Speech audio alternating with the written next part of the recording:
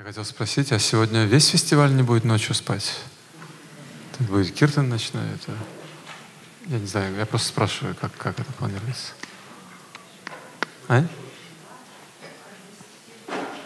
Не, я знаю, в какое время, я просто хотел спросить, это такая общая программа для всего фестиваля? Так? Все будут участвовать в киртане? Что-что? На Мангаларасе. То есть сразу после киртана на mangalarą. Киртан заканчивается в 2 ночи. Мангаларасе начинается в 4.30. Непрерыв- непрерывный процесс.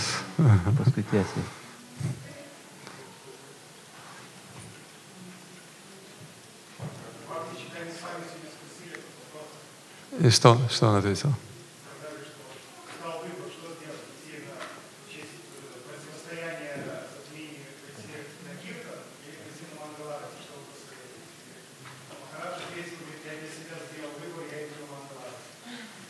Ага, ну вот, уже понятнее становится. Чем naktinį. Спасибо, да.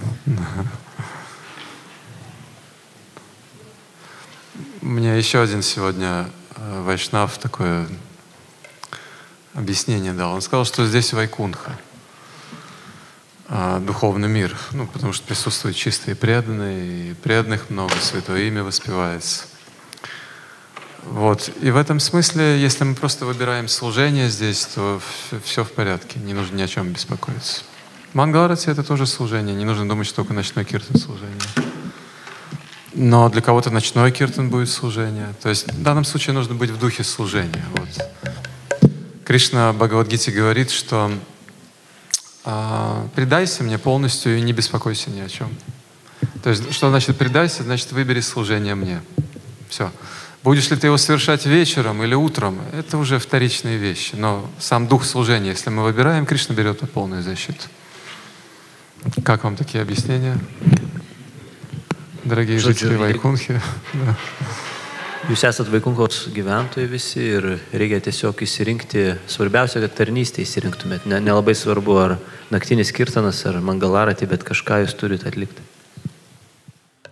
Hare Krishna, Hare Krishna, Krishna Krishna, Hare Hare, Hare Rama,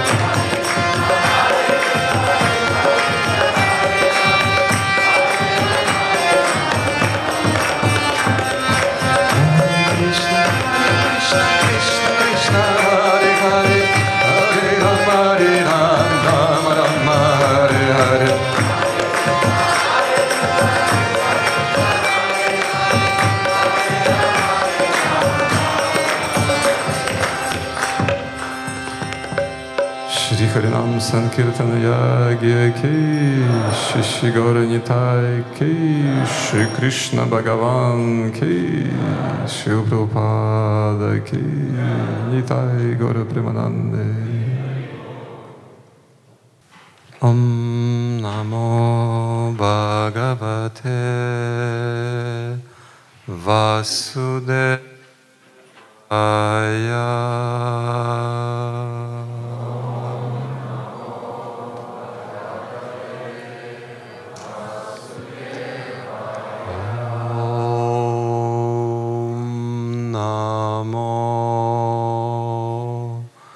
Bhagavate Vasudevaya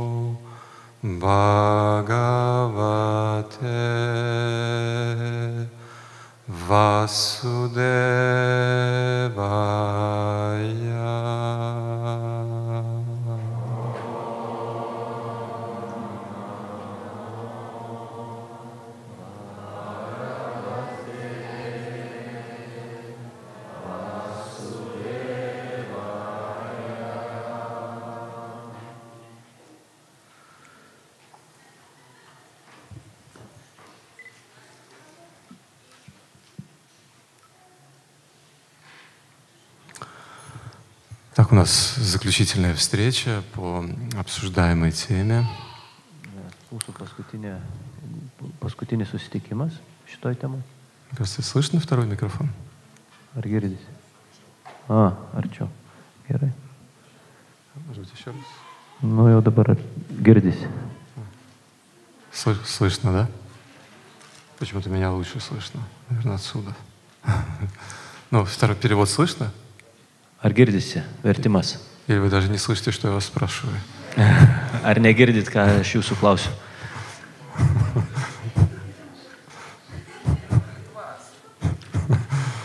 Ну, Слышно или нет? Ar girdisi? Поднимите руку, кто нас слышит. Pakelkite rankas, kas girdi. Немногие. А, A, visi, visi girdi. Да, да, в порядке все. да. Окей. Итак, мы с вами вечные души, Mes visi amžinos sielos su jumis, которые в этом мире идут дорогой назад в духовную реальность. kurie šitam pasaulyje eina e, ke- kelionę į namoją atgal į dvasinį pasaulį. И этот мир Кришна сотворил как дорогу, о которую мы можем опираться. Šitą pasaulį Krišnas sutvėrė kaip kelią, į kurį mes galim remtis.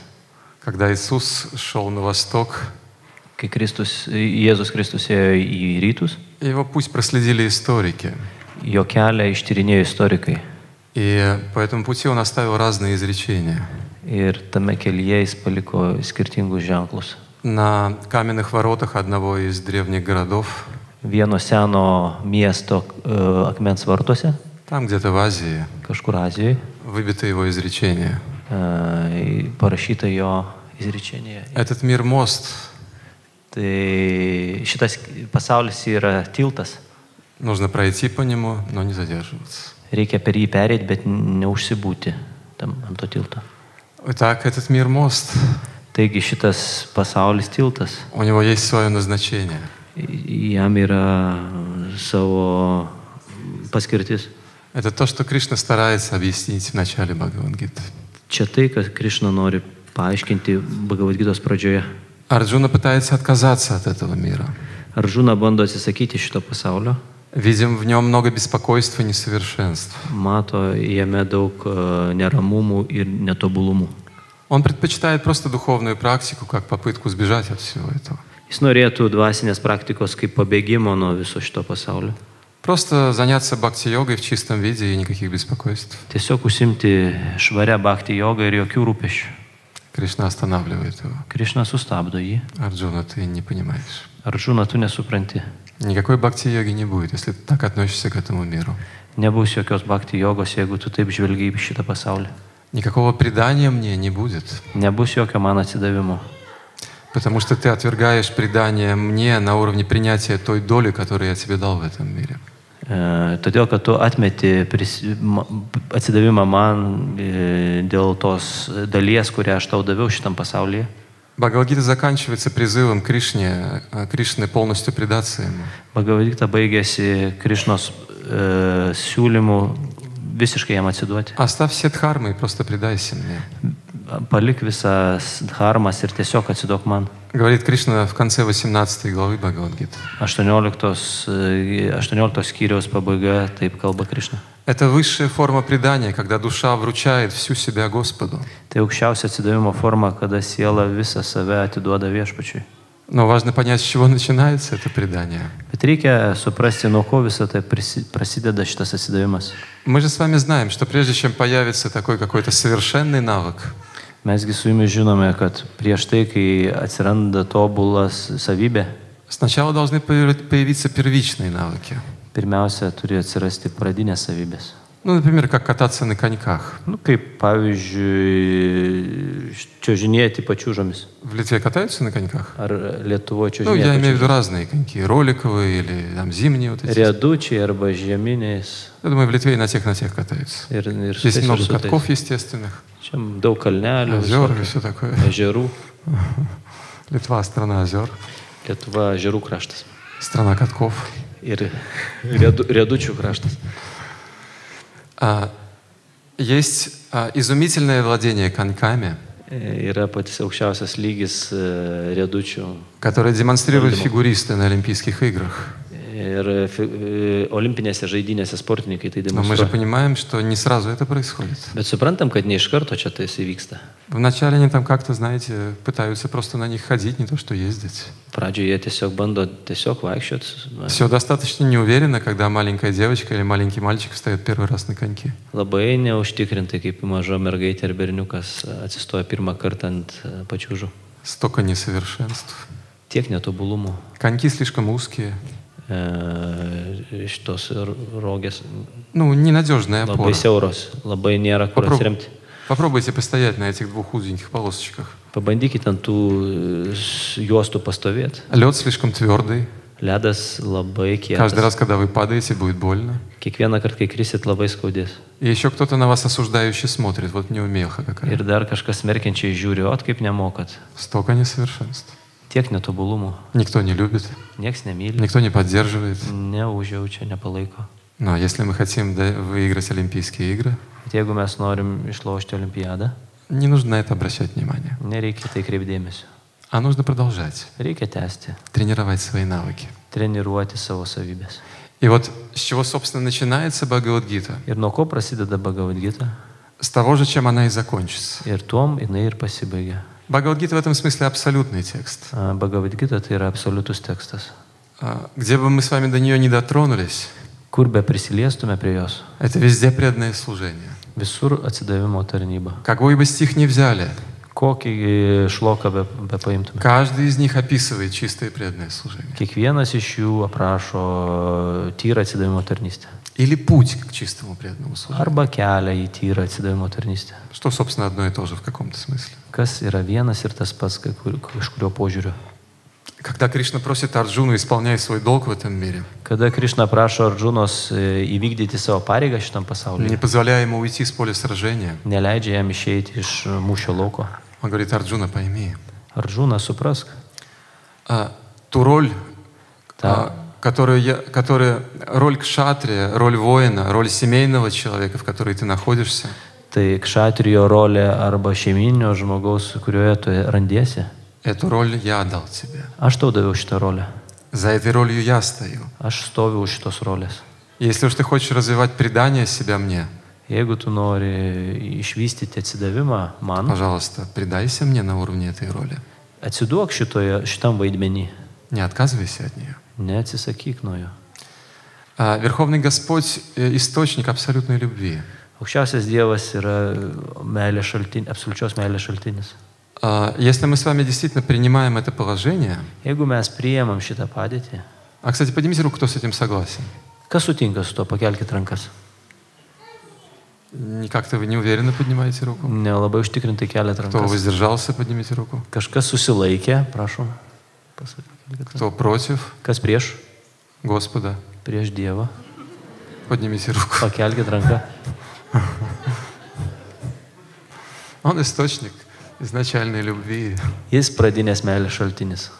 Все, что он делает, продиктовано этим чувством. Viską, ką jis daro, tai dėl e, šito jausmo. Вы что, он думаете, сотворил этот мир из злобы к нам? Ką jūs galvojate, jisai šitą pasaulį sukūrė dėl mm, priešiškumo mums? И- идите, идите там, помучайтесь. Eikit, eikit, pasigankinkit tenais. Он сотворил его из любви. Jisai iš meilės sukūrė šį pasaulį. Слушайте, да давайте посмотрим просто на этот мир. Tiesiog pažvelkime šitą pasaulį. Он же так красив. Jis toks gražus. Как вам кажется, в ненависти можно было такое сотворить? Kaip jūs galvojate, ar galima iš neapykantos tokį sukurti? В обиде какой-то на живые существа. Iš nuoskaudos. Ну вот, не слушаются меня. Nu, neklauso manęs. Вот вам этот Nu, материальный ir мир. turėkit šitą materialų pasaulį.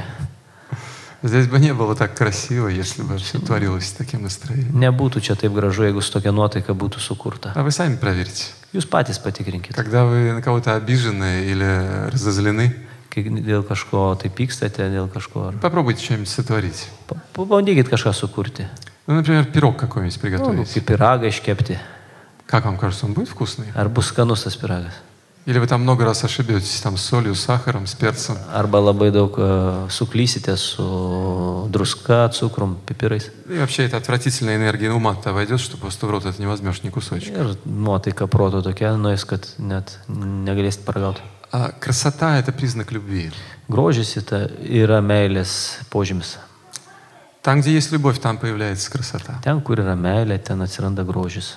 Если мы любим, мы же стараемся действовать очень красиво для объекта нашей любви. Jeigu mes mylime, stengiamės labai gražiai elgtis su meilės objektu. Какой-то красивый букет выберем, Kažkokią gražią plokštę išrinksime. Не знаю, какие-то красивые слова скажем. Kažkokius gražius žodžius pasakysim. Же такое, что мы любим, и там говорим, ну, я тебя люблю. Ne, tai nėra taip, kad myliu, bet ir sakau, nu gerai, aš tave myliu. А возьми вот этот спичечный коробок. Imk šitą degtukų dėžutę. Я вот специально для тебя его выбирал. Dėl tavęs čia išrinkau.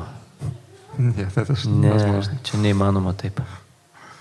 Когда мы любим, мы становимся красивыми. Kai mes mylime, mes tampame gražus. Кришна сотворил этот мир из любви, Krišna sukūrė šitą pasaulį iš meilės, чтобы дать обусловленным живым существам возможность достичь его. kad duoti sąlygotom sielom jį, galimybę jį pasiekti. Но что значит достичь его? Ką reiškia pasiekti jį? Это означает развить сознание предания ему, Reiškia įsivystyti atsidavimo nuotaiką, išvystyti зависимости от него, priklausomybę nuo jo, иметь желание проявлять свою любовь к нему. turėti norą reikšti jam savo meilę. И вот первое, с чего Кришна начинает объяснять путь бхакти-йоги в Бхагавадгите, Ir pradžioje, ką Krišna Bhagavad-gitoje aiškina apie bhakti jogą, исполняй свой долг в этом мире. atlik savo pareigą šitam pasaulyje. Потому что дело не в том, что ты делаешь на внешнем уровне. Reikalas ne tame, ką tu išoriškai darai. Великий ты царь или сапожник, Ar tu karalius, ar tu batsiuvys, никакой разницы нет. jokio skirtumo. Все в момент смерти будет оставлено. Viską paliksite mirties akimirką. в следующей жизни царь, возможно, станет сапожником, Ir kitą gyvenimą karalius taps а batsiuviu, сапожник, может быть, станет царем. o batsiuvys karalium. Это не играет никакого значения, вот эти внешние роли. Šios išorinės, šie išoriniai vaidmenys neturi jokios reikšmės. Все эти роли принадлежат этому миру, Šito, šitie vaidmenys priklauso šitam pasauliui, который все время разрушается. kuris visą laiką e, nyksta, naikinamas. Как минимум в момент нашей смерти. Kaip minimum mūsų mirties akimirka. Весь мир разрушается для Visas нас. pasaulis dings, e, sugriūna dėl mūsų. Момент смерти. Mirties akimirka. И все эти роли, и все достижения в этом мире будут оставлены здесь, а мы пойдем дальше. Ir visi pasiekimai, visi vaidmenys bus palikti šitam pasauliu, o mes eisim tolin. Поэтому Кришна говорит, если ты хочешь вернуться в вечную реальность, Todėl Krišna sako, jeigu tu nori grįžti į amžiną realybę, не привязывайся к этим ролям neprisiriš prie šitų vaidmenų и не отказывайся от них, ir neatsisakyk jų. а в рамках этих ролей развивай настроение преданности мне. Bet šitų vaidmenų ribose e, išvystyk atsidavimą man. Та роль, которую ты имеешь сейчас, Tas vaidmo, kurį tu dabar turi, мужчина или женщина, vyras ar moteris, сапожник, учитель, инженер, бизнесмен, ar batsiuvys, ar mokytojas, ar inžinierius, ar verslininkas, эти роли из меня изошли.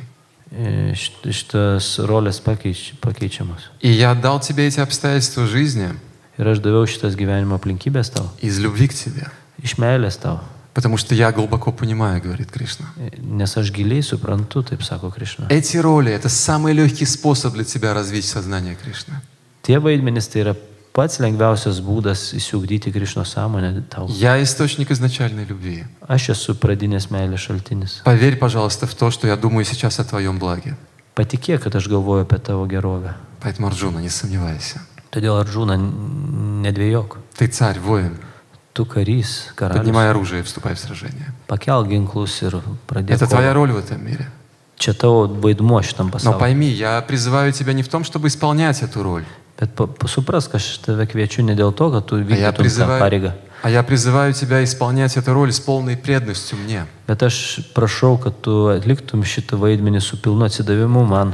Я приведу небольшой пример, чтобы мы с вами понимали. Pateiksiu nedidelį pavyzdį. Когда мы хотим напоить другого человека водой, Kai mes norim pagirtyti kitą žmogų vandeniu, мы воспользуемся стаканом или чашкой, правда ведь? mes panaudosime stiklinę. Taip. Мы воду нальем в стакан, Mes įpilsime vandenį į stiklinę и этот стакан протянем ir duosime šitą stiklinę другому человеку. kitam žmogui. Другой человек не Kitas будет žmogus есть стакан. nevalgys stiklinės. Он просто выпьет воду и стакан поставит. Jis išgers vandenį ir stiklinę padės. Вот точно так же все наши роли в этом мире. Taip ir visi vaidmenys mūsų gyvenime. Это просто емкости, в которые мы учимся наливать свою преданность Богу. Tai yra talpa, į kurią mes mokomės įlieti, įpilti savo atsidavimą Dievui. Чтобы передать Богу нашу преданность, нужно во что-то ее налить. Kad perduoti Dievui mūsų atsidavimą, reikia į kažkur jį И эти įpilti. разные социальные роли, которые мы играем в этом мире, Įvairios socialinės vaidmenys, kuriuos mes šitam gyvenime это и gyvenam. есть те емкости, в которые мы учимся наливать свою преданность. Tai yra tos talpos, į kurias mes e, mokomės įpilti savo atsidavimą. Вот так начинается Бхагавадгита. Taip prasideda Bhagavad-gita. Кришна в третьей главе Trečioji gies- Trečiom skyriui Krišna прославляет долг. Pareigą šlovina. Просто послушайте несколько стихов. Tiesiog paklausykite keletą šlokų. Ну, здесь их много, прям вся первая половина третьей главы только об этом. Čia jų daug. Tiesiog pirmas, trečios e, dalies visa pirma pusė apie tai. Разными словами Кришна прославляет долг. K- Skirtingais žodžiais Krišna šlovina e, Пока в, pareigą. кон- пока в конце концов не приводит свой пример. Pa, ko- paskui savo pavyzdį pateikia. Поэтому человек должен действовать из чувства долга, Todėl žmogus turi e, vykdyti pareigą, не стремясь к плодам своего труда. nesiekiant vaisių šit- Tak on- šitos. Так он pareigos. придет к Всевышнему. Taip jis prieis prie aukščiausiojo. 19 текст. 19 tekstas. Кришна провозглашает этот философский принцип. Krišna skelbia šitą filosofinį principą. Через этот мир ты придешь ко мне. Учись здесь действовать с преданностью. Per šitą pasaulį tu teisi pas mane, mokykis čia elgtis su atsidavimu. С благодарностью прими от меня те роли, которые ты сейчас имеешь в жизни. Не спорь с ними. Su dėkingumu priimk šitus vaidmenis, kuriuos tu dabar turi pasaulio gyvenime ir ne, nekovok su tai. Будь мужчиной, будь женщиной, Būk vyras, būk moteris, будь родителем, būk tėvas, будь ребенком. būk vaikas. Исполняй свою профессиональную деятельность. Išpildyk savo profesionalią Но karjerą. все, но все это делай с преданностью ко мне. Bet tai daryk su atsidavimu man. Такие цари, как Джанака, достигли совершенства Tokie karaliai kaip pa, pasiekė tobulumą. только благодаря тому, что выполняли свои обязанности. Tik tai dėl to, kad vykdė savo pareigas. Так и ты должен заниматься своим делом, Taip ir tu turi užsimti savo хотя бы для того, чтобы подать пример остальным. bent jau dėl to, kad duoti pavyzdį kitiems. 20 текст. 20 tekstas. Кришна приводит а, в пример освобожденные души. Pas, pavyzdį rodo įsilaisvinusias sielas. Кто такой царь Джанака? Kas yra karalius Džanaka? Отец Ситы, Sitos tėvas, супруги Господа Рамы. e, stoktinės ramos. Освобожденная душа, которая из Галоки, ну, вернее, не из Галоки, но оттуда, сверху, Išsivadavusi siela iš viršaus. пришел в этот мир сопровождать Господа в Atėjo, его играх. atėjo į šitą pasaulį lydėti viešpatės jo žaidimuose. И Кришна говорит, смотрите, мои чистые преданные исполняют свой долг. Ir Krišna kalba, mano tyri atsidavę vykdo savo pareigas. После этого он говорит, о сын Притхи, во всех трех мирах, мирах нет такого дела, O Prito sūnau, visuose trijose pasauliuose nėra tokio reikalo, которым я был бы обязан заниматься. kurį aš turėčiau atlikti. Он говорит про себя как верховную личность Бога. Jis kalba apie save kaip aukščiausią Dievo asmenį. Я ни в чем не нуждаюсь и ни к чему не стремлюсь. Man nieko nereikia ir aš nieko nesiekiu. И все же я всегда выполняю свой долг. Bet aš vis tiek savo pareigą visada atlieku. Сам верховная личность Бога, приходя в этот мир, исполняет свой долг. Pats aukščiausias Dievo asmuo, prie atėjęs į šį pasaulį, vykdo savo pareigą. Нам нужно услышать, как Кришна раз за разом прославляет этот долг, Mums reikia išgirsti, kaip Krišna kiekvieną kartą šlovina šitą pareigą, подчеркивая его высокий смысл, pabrėždamas jo aukš- aukštą prasme, пока в конце концов kol galų gale не сделает очень серьезное предупреждение нам. neįspėja mūsų labai rimtai. Послушайте, пожалуйста. Paklausykite.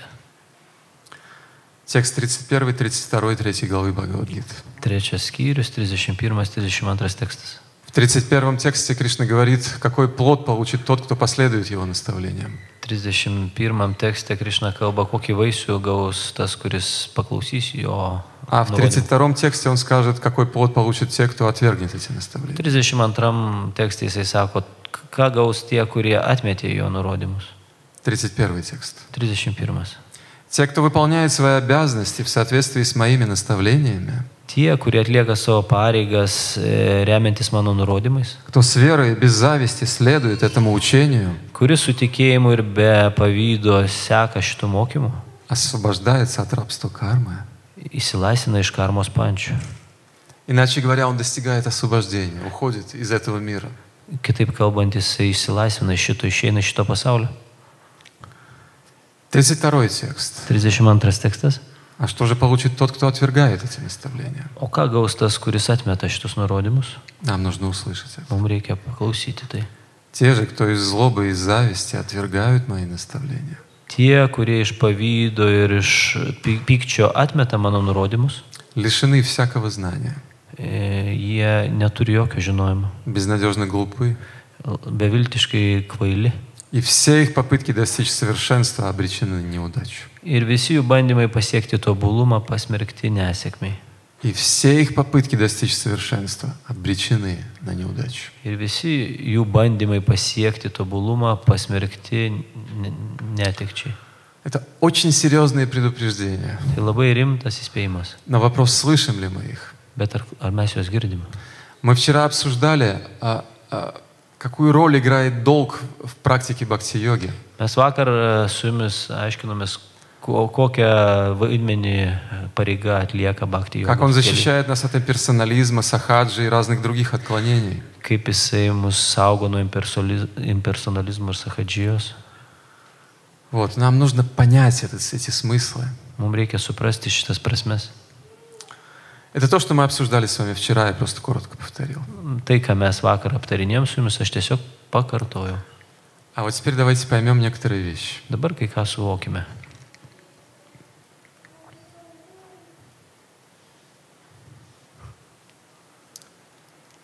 А, есть машина, Yra mašina. Как вот эта вот форма, там, я не знаю, как называется, фю- фюзеляж или фюзеляж самолетов. Tarsi Korpus mašina. korpusas mašinos. А, есть колеса, ratai, есть сиденья, sėdynės, фары есть. žibintai. Но чего-то самого важного не хватает. Чего? Trūksta dar savo, pačio svarbiausio ko. Двигатели. Variklis. Итак, долг это вот этот корпус. Tai pareiga tai yra tas korpusas. Машины, в которой мы можем приехать к Кришне. Automobilis, su kuriuo mes galim nuvažiuoti pas Но jį. чтобы она приехала к нему, нужен двигатель. Kad jinai pas jį nuvažiuotų, reikia variklio. Потому что Кришна говорит, исполняя обязанности как подношение мне, Todėl, kad Krišna kalba, kad e, atlikdamas pareigas kaip auka man, то есть чтобы выполнять эти наставления, нужно знать его. tam, kad įvykdyti šitas nurodymus reikia jį pažinti. А как мы будем тогда выполнять наш долг как подношение ему, если непонятно кому? O kaip mes galime savo pareigas atlikti kaip auka jam, jeigu nežinom kam konkrečiai. И вот здесь начинается вторая часть объяснений Господа. Ir čia prasideda antra dalis viešpatės paaiškinimų. Первое, что он объяснил. Pirma, ką jis paaiškino, Дорогой Арджуна, mielas Ardžūna, если хочешь вернуться ко мне в духовный мир, jeigu nori sugrįžti pas mane į dvasinį pasaulį, встань на путь бхакти-йоги. eik bakti jogos keliu. Только пойми, что такое бхакти-йога. Tik supras, kas yra bakti joga. Бхакти-йога – это не ритуал два часа в день. Bakti joga tai ne dviejų valandų per Как, dieną. возможно, ritualas. кому-то кажется здесь присутствующим. Kaip galbūt kažkam atrodo čia iš Ну, čia. просто там esančių. мантру отчитать, и два часа, и достаточно. Tiesiog mantrą dvi valandas И pakartoju. вот так в užtenka. духовный мир и вернемся. Taip ir grįšim į dvasinį Нет, pasaulį. нет. Ne. Кришна говорит, Krišna sako, ты все время должен помнить обо мне. tu visą laiką turi apie mane prisiminti. И вот поэтому, когда ты не читаешь мантру, исполняй свои обязанности O с to- памятью обо мне. Todėl tada, kai tu nekartoji mantros, prašau, vykdyk pareigas atsimindamas mane. Сохраняй свое сознание. Išsaugok savo su, suvokimą. А, Я хочу проиллюстрировать эти слова цитатами из Бхагавадгиты. Noriu pacituoti Bhagavad-gitą. Кришна в 12 главе дает лестницу бхакти-йоги.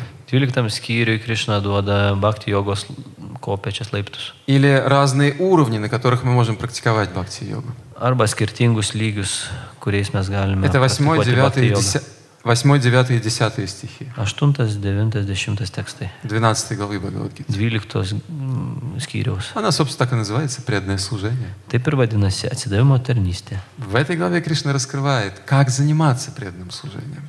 Šitoj skyriui Krišna atskleidžia, kaip užsimti atsidavimo И tarnybą. первое, что он говорит, это восьмой текст Ir pirma, tai yra aštuntas о tekstas преданном служении. - atsidavimo tarnybė. Сосредоточь свой ум на мне, Susikoncentruok savo protą manyje, верховной личности Бога. aukščiausio Dievo asmenyje. Направь на меня весь свой разум. Visą intelektą nukreipk į mane.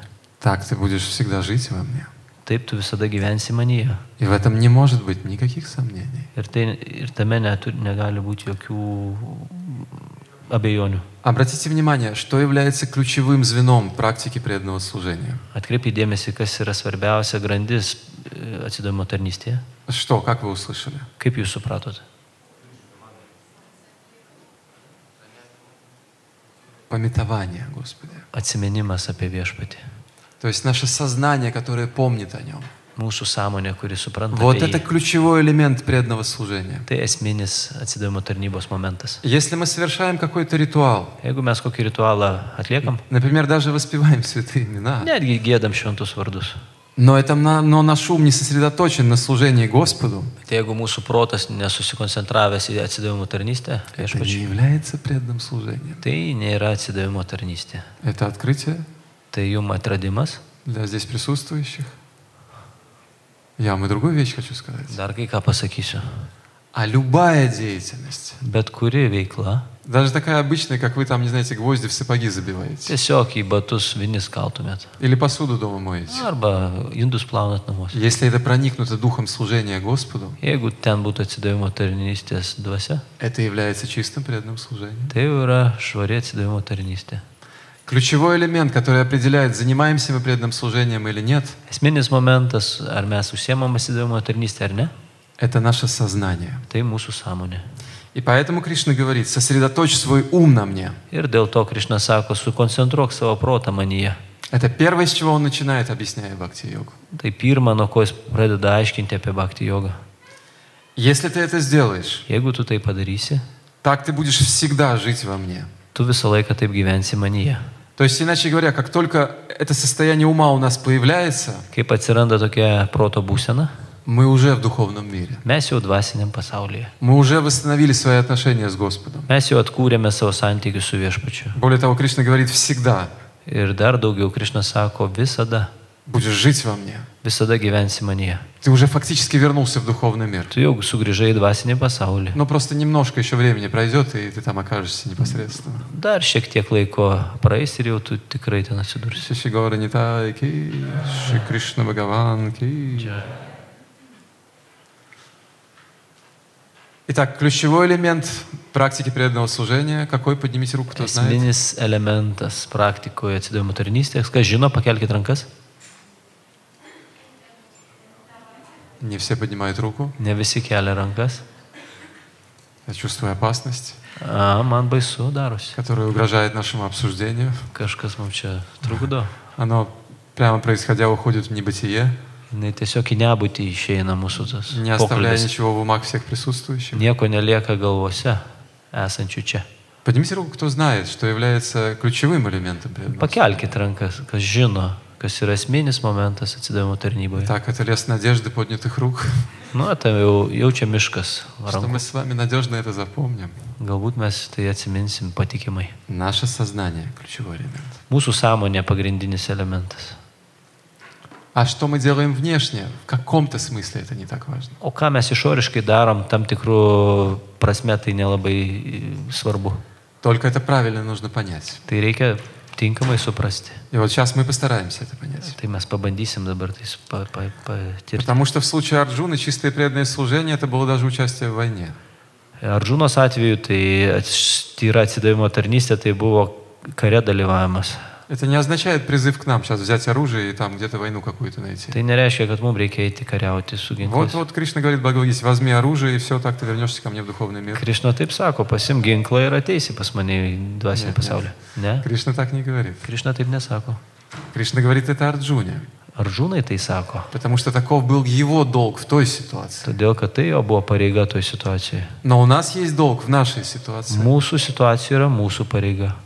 Наше оружие и наша Курукшетра Mūsų ginklai ir mūsų mūšio laukas – это наше служение нашим родителям, - tai mūsų tarnystė mūsų tėvams, это служение нашим детям, vaikams, это служение нашему мужу или жене, tarnavimas vyrui arba žmonai, это исполнение своих обязанностей в обществе. vykdymas savo pareigų visuomenėje. У каждого из нас своя Курукшетра. Kiekvie, už kiekvieną pas mumis savas mūšio laukas. Нам важно понять принцип, который провозглашает Кришна. Mums reikia suvokti principą, kurį. А принцип такой – исполняй свой долг. Principas yra toks - vykdyk savo pareigą. Иногда люди спрашивают, а в чем долг, как его понять? O kaip suprast, kartai žmonės klausia, kur pareiga? А что его понимать-то? O kam jį suvokti? Нужно подойти к зеркалу и посмотреть на себя. Reikia pažiūrėti į veidrodį.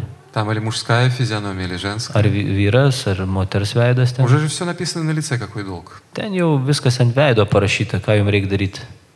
Нужно вспомнить, какое у меня отчество. Reikia su, prisiminti, koks mano Есть мой tėvavardis. отец и моя мать. Yra tėtis, mama. Это мой долг как ребенка. Tai mano pareiga kaip vaiko. Это же простые вещи. Tai labai paprastai dalykai. А, Итак, Кришна говорит, что главный элемент практики преданного служения – сознание. Tai Krišna kalba, kad pagrindinis atsidavimo tarnystės elementas yra sąmonė. И вот дальше он говорит Арджуне. Ir toliau jis kalba aržūnai. Если ты замечаешь, что твое сознание неустойчивое, Jeigu tu pastebi, kad tavo sąmonė ne pati, ne, netvirta, ты не можешь устойчиво помнить обо мне. tu negali pastoviai atsiminti apie mane. Ты все время утрачиваешь эту память. Tu visą laiką pameti. tai У tą тебя atsiminimą. возникают там какие-то мысли твои собственные. Kažkokios tavo asmeninės mintis ten atsiranda. Поднимите руку, кто замечает, что это похоже на нас с вами. Kas supranta, kad tai į mus panašu? Здесь вы более уверенно поднимаете руку. Čia jau labai jau tvirtai jūs Я keliat rankas. замечаю. То нужно слушать дальше, что говорит Кришна. Reikia toliau klausyti, ką Krišna sako. Потому что бхакти-йога – это духовный путь для всех живых существ, Todėl, kad bhakti yoga tai dvasinis kelias visoms gyvoms būtybėms. а не только для возвышенных преданных, которые способны непрерывно думать о Господе. Ne tik išaukštintiems atsidavusiems, kurie gali nenutraukiamai mąstyti apie viešpatį. И нам важно понять, на каком уровне мы можем заниматься бхакти-йогой. Mums reikia suvokti, kokiam lygiai mes galim užsimti bhakti И. Кришна дает здесь эти уровни. Ir Krišna duoda šitus lygius. Следующий стих, который он произносит, это девятый текст. Devintas tekstas, По-прежнему 12 главы Бхагавад. dvylikta e, skyrius, dvyliktas.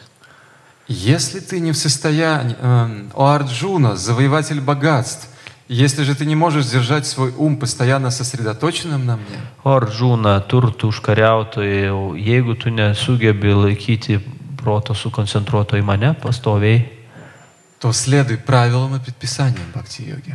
tai vykdyk e, nurodymus bhakti jogos. Так ты разовьешь в себе желание достичь меня. Taip tu išsiugdysi norą pasiekti mane. Что такое желание достичь меня? Ką reiškia noras pasiekti mane? Это и есть тот самый устойчивый ум, который помнит о Господе. Tai ir yra tas stabilus protas, kuris atsimena apie viešpatį. И как это желание разовьется в нашем сердце? Ir kaip tas noras įsivystys mūsų širdyje, Поднимите руку, кто понял, как, ну, что нужно делать. pakelkite rankas, kas suprato, ką reikia daryti. Не все слушают внимательно. Ne visi klauso įdėmiai. Так что же надо делать? Я прочитаю еще раз. Tai ką daryti? Вы Aš что, jums dar ожидаете от kartą- меня, что я буду объяснять? Ką aš jums turiu Я paaiškinti? просто повторяю Бхагавадгиту. Aš tiesiog skaitau Bagavadgitą. Нам нужно уловить ее наставление. Mums reikia pagauti jos nurodymus. У Арджуна, O Aržūna, завоеватель богатств. turtų užkariautojo. Если же ты не можешь держать свой ум постоянно сосредоточенным на мне, Jeigu tu negali sukoncentruoti savo proto visą, visuomet į mane, то следуй правилам и предписаниям бхакти-йоги. tai vykdyk taisyklės ir reikalavimus bhakti jogos. Поднимите руку, кто услышал, что нужно делать. Ką reikia daryti? Итак, вопрос к вам, что нужно делать? Tai kągi reikia daryti, jums klausimas. Нет, нет, исполнять свой долг, не торопитесь. Здесь не так говорится. Все руки подняли, но оказывается у всех свои понимания, что нужно делать. Ах, оказывается, нужно быть мужчиной и женщиной. Здесь Кришна другой уже говорит. Не, čia Кришна кашкаю кита колба. Так кто еще скажет? Каздар пасакис? А? Сосредоточиться ум на Кришне, это был предыдущий текст. прота и Кришна. Ты че был ангстесный текст? Я чувствую, вы напрасно поднимали руки. Давайте еще раз прочитаем этот стих. Даркарта, паскетам счета. О Арджуна. О Арджуна. Завоеватель богатств. Туртуш коряутую. Поднимите руку, кто помнит, что я сейчас сказал. Каса Тимана качаешь, добар пасакев. Ну, вы все поднимаете руку, но мы сейчас будем проверять. Ну, той поднимите сейчас. Если же ты не можешь держать свой ум постоянно сосредоточенным на мне, Jeigu tu negali savo proto pastoviai sukoncentruoti į mane, то tai следуй sek правилам taisyklėm и предписаниям ir nurodymais. бхакти-йоги. Bakti jogos. Что нужно делать? Ką reikia daryti?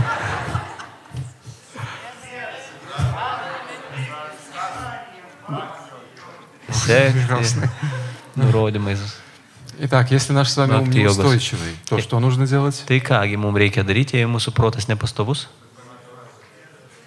Следовать Sekti правилам и предписаниям бхакти-йоги. akti jogos principais ir reikalavimais. А что такое правило и предписания бхакти-йоги? Kas yra taisyklės ir principai bakti jogos? Следующие полчаса будут посвящены повторению этой темы. Sekančią pusę valandos mes tai aptarsim. Но основные правила предписания бхакти-йоги Pagrindiniai reikalavimai bakti jogos. — это повторение святого имени, Kartoti šventą vardą, это поклонение божествам, lenktis dievybėm, а, это чтение священных писаний или слушание священных писаний. klausimas arba skaitimas šventraščių, Это общение с вайшнавами. bendravimas su atsidavusiais Вот vaišnavais. эти все прямые процессы бхакти-йоги, которые мы с вами очень хорошо знаем. Čia tie, tiesus bakti jogos principai, procesai, kuriuos mes žinom. Вот это есть правила и предписания Tai yra бхакти-йоги. taisyklės ir reguliavimai. Есть основные правила, я их назвал.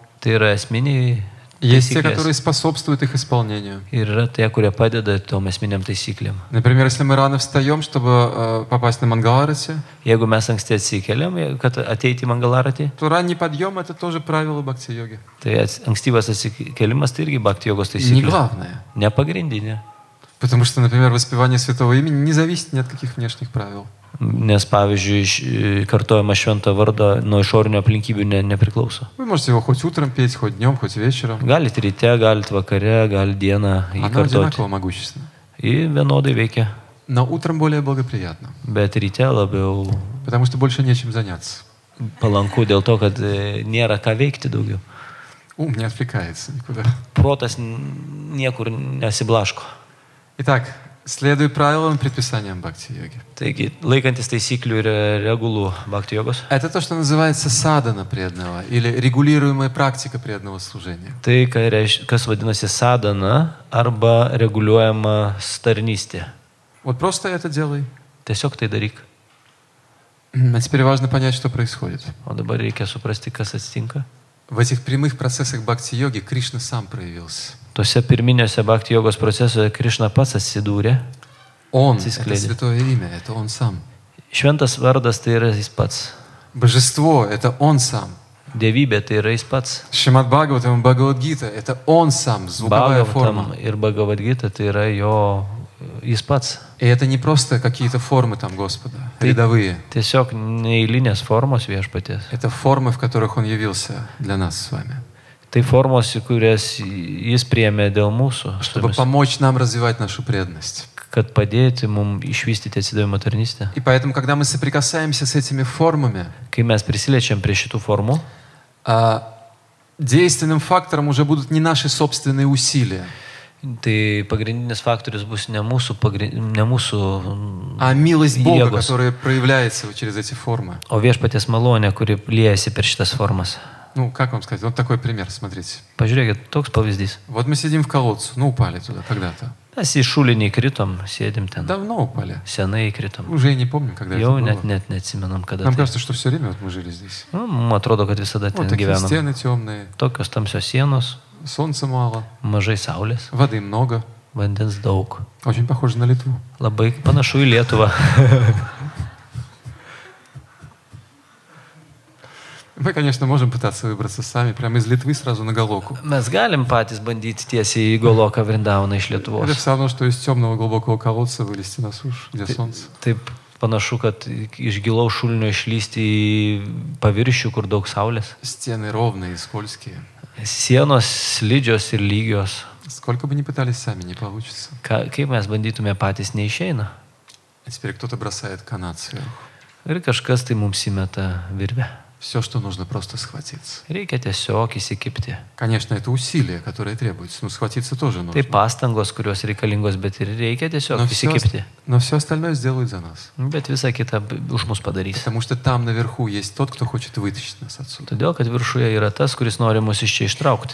И вот святое имя — это канат, сброшенный к нам, Š- Кришна. Šventas vardas tai yra ta virvė, kuri, kri- kurią Krišna mums numetė. ten. Божества — это канат, сброшенный нам. Dievybės tai yra ta virvė. Шимат Бхагаватам и Бхагавадгита появились пять тысяч лет назад, раньше их не было. Penk, prieš 5000 metų atsirado Bhagavad-gita, Bhagavatam anksčiau jų nebuvo. Пять тысяч лет назад Кришна сбросил эти канаты. 5000 metų prieš tai Krišna numetė šitą virvę. Святое имя, правда, чуть попозже, Šventą vardą vėliau, 500 лет назад. 500 metų atgal. Господь читание его принес. Viešpačiai Tanė jį atnešė. Самый надежный канат. Pats patikimiausia Если у virvė. вас нет времени изучать Священное Писание, Jei jūs neturit laiko šventraščių studijuoti, просто повторяйте Святое имя. tiesiog kartoti, š- kartokit šventą vardą. Этого вполне достаточно. Tai pilnai pakanka. Как вам кажется, достаточно схватиться за канат? Kaip jums atrodo, pakankama užsikabinti už virvės? Обратите внимание, лезть наверх не нужно. по Nerei, канату. nereikia pačiam lipti tuo šniūru į viršų. Надо просто схватиться. Reikia tiesiog įsikipti. Там наверху есть тот, кто хочет нас вытащить. Ten viršų yra tas, kuris nori mus ištraukti. Вот это святое имя. Tai šventas vardas. Нам просто нужно стараться Mums reikia tiesiog stengtis воспевать святое имя. kartoti šventą vardą. Стараться читать Шримад Бхагаватам, Бхагавадгиту. Stengtis š- skaityti Bhagavatam Bhagavad-gitą. Стараться общаться с преданными. Stengtis bendrauti su atsidavusiais. Стараться просад есть. Prasadą valgyti reikia stengtis. Самая легкая форма. Pati, pati lengviausia forma. Вот это прямые процессы бхакти-йоги. Čia pirmi tiesioginiai procesai bhakti jogos. Именно они развивают наше сознание Кришны. Būtent jie mūsų Krišno sąmonę vysto. То есть это тот самый мотор, который позволяет машине преданного служения двигаться. Taigi, tai yra variklis, kuris leidžia e, automobiliui atsidavimo tarnystės judėti į priekį. Поэтому если мы теперь просто будем думать, что достаточно просто вот долг исполнять и этого все, все в порядке, Jeigu mes galvosim, kad tiesiog reikia pareigą e, vykdyti ir viskas нет, užtenka. этого недостаточно. Ne, to neužtenka. У машины должен быть мотор. Variklis turi būti automobilyje. А то, как мы будем делать свои обязанности как подношение Господу. O o kaip mes tada atliksim savo pareigas kaip auką viešpačiui? Чтобы делать подношение, нужно знать его. Kad atlikti auką reikia jį pažinti, Нужно влюбиться в него. Нужно почувствовать вкус служения ему. reikia pajusti skonį atsidavimo jam. Однажды один из журналистов спросил Прабхупада, Praupados kažkada žurnalistas paklausė, а вы вообще уверены, что Кришна есть? ar jūs tikrai įsitikinęs, kad Krišna yra?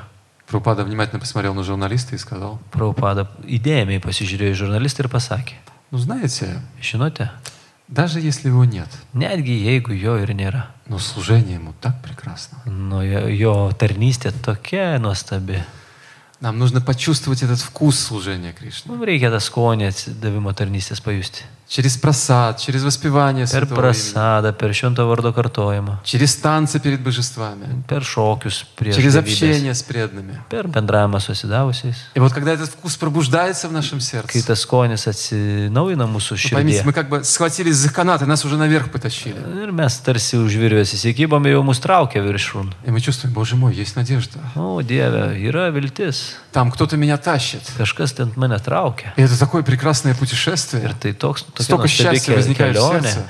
Tiek daug džiaugsmo širdėje. Я буду крепче еще держаться. Dar stipriau įsikipsiu. Вот когда мы почувствуем этот вкус служения Кришне в прямых процессах поклонения Ему, Kai mes pajusim šitą skonį pirm, pirminiuose procesuose, вот теперь возникает следующая задача. tada kitas uždavinys atsiranda. Этот вкус внести в обычные дела. Į kasdienius reikalus tą skonį įnešti. Потому что Кришна это все. Krišna tai yra viskas. И Он всегда рядом с нами. Jis šalia mūsų. И Он хочет, чтобы мы всегда помнили о Нем. Ir jis nori, kad mes visada apie jį atsimintume. А не только два часа утром, когда повторяли Святое Имя. Ne tik dvi valandas ryte, kada kartuojam šventą vardą. А потом вышли к родственникам O po to išėjom pas giminės и скажем им, ir sakom, ну что, жрать хотите? nu, norit ėsti? Не знаю, как звучит по-литовски. Nu, nežinau, По-русски kaip это liet, звучит достаточно сочно. lietuviškai kas skamba, bet rusiškai tai labai taip grubiai. Мы должны вынести эту культуру сознания Кришны в обычную жизнь. Mes turim šitą kultūrą Krišnos sąmonės į paprastą gyvenimą. Как вам кажется, когда мы будем помнить, что мы должны завтрак приготовить для наших родственников, Kaip jums atrodo, jeigu mes atsiminsim, kad reikia uh, giminėm pa- paruošti И будем- pusryčius. помнить, что Кришна это просит делать как подношение Ему, Ir atsiminsim, kad Krišna prašo, kad tai kai auka jam daryti. у нас будет раздражение, ненависть к ним, Ar bus su, pyktis tiem savo или такое чувство, опять нужно этим artimiesiems? заниматься? Ar bus toks jausmas ir vėl tą patį reikia daryti? Как вы считаете? Kaip jūs galvojate? Поднимите руку, кто считает, что как-то более возвышенно это получится. Kas galvoja, kad vis taip stipriau tas, aukščiau Nu, tai taip всё, atsitiks? Nu, va, matot. Вот это и есть бхакти-йога. Tai ir yra bhakti yoga. Она состоит из двух процессов. Iš dviejų procesų tai susideda. Вот это то, что мы с вами не понимаем. Tai, ko mes su jumis nesuprantam. Бхагавадгите. Bhagavad-gita. Потому что Кришна метод бхакти-йоги в Бхак- Бхагавадгите сконструировал из двух процессов. Bhakti jogos metodą Bhagavad-gita Krišna sudėliojo iš dviejų procesų. Вот я думаю, вы уже догадались или мне нужно раз 15 повторить это еще? Ar dar 15 kartų reikia kartoti, ar jau jūs suprantat kažką? Кто может сказать, что это за два процесса? Kas tie бхакти-йоги? du procesai Bhakti jogos? Мгм. Пометовать о Господе и исполнять обязанности. Pas, prisiminti apie viešpatį ir vykdyti pareigas. Пометовать о Господе и исполнять садхану. Неправильно. Nete, neteisingai.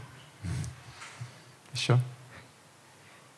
Ну, вернее, правильно, но это не совсем точно. Nu, ne visai tiksliai.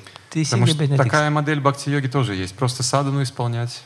Tokia Bhakti jogos metodika irgi yra tiesiog sadana Веселиться, как atlikti. брамачария в храме. И Ir kaip brahmačiaris šventykloje Какая модель apsigyveni. есть? Yra toks modelis. Это девятый текст 12 главы. 12 gesmės 9 tekstas. О, Арджуна завоеватель богатств. Если же ты не можешь держать свой ум постоянно сосредоточенным на мне, O, Ardžūna, turtų užkariauti, jeigu tu negali savo proto pastoviai sukoncentruoti į mane, то следуй правилам и предписаниям бхакти-йоги. vykdyk e, regulas Bhakti jogos. Только я вам хочу одну вещь сказать. Aš turiu jums vieną dalyką pasakyti. Такая бхакти-йоги есть. Yra toks metodas Bhakti Не сомневайтесь, пожалуйста, в этом. Nebejokite dėl to. Один важный момент. Vienas svarbus momentas. На него стоит обратить внимание. Reikia jį atkreipdėmėsi. В этом стихе. Tam pačiam, toj pačioj Здесь gesmėje. содержатся условия, при котором эта модель в полной мере сработает. Čia yra sąlyga, kada tas modelis pilnai suveiks. Это слово на санскрите звучит как стхирам. E, šitas žodis tchiram sanskritų skamba. Переводится как постоянно. Tai yra kaip stabilus vertimas toks. То есть вот этим правилам предписаниям нужно следовать постоянно. Tom regulom reikia pastoviai sekti. Ну, это, собственно, то, что и делает Брамачари в храме. Tai, ką daro brahmačiariai šventykloje. То есть, чтобы эта модель преданного служения сработала, стхирам, нужно постоянно быть занятыми вот этими правилами предписаний. Kad šitas modelis sudirbtų, tai reikia pastoviai užsimti regulom ir taisyklėm. Поднимите руку, кто чувствует, что вы уже не вдохновлены. O kas neįsikvėpia šituo, Не-не, ну по-честному. pakelkit, nu iš Просто tikrųjų. думаете, что нужно постоянно, боже мой. Pastoviai visą laiką. Что-то я не хочу быть таким бхакти-йогом. aš nenoriu būti toks bhakti Ну хорошо, не то, что не хотите, я знаю, что вы все хотите. Ну, Поднимите руку, смотрю, кто сомневается, что у вас получится это. Nu, o kas abejoja, kad jums tas pa- pavyks? Итак, вот у нас есть много сомневающихся в этом зале. Daug kas abejoja Мы šitą sąlygą. услышали условия стхирам, Mes sąlygas išgirdom, skiram.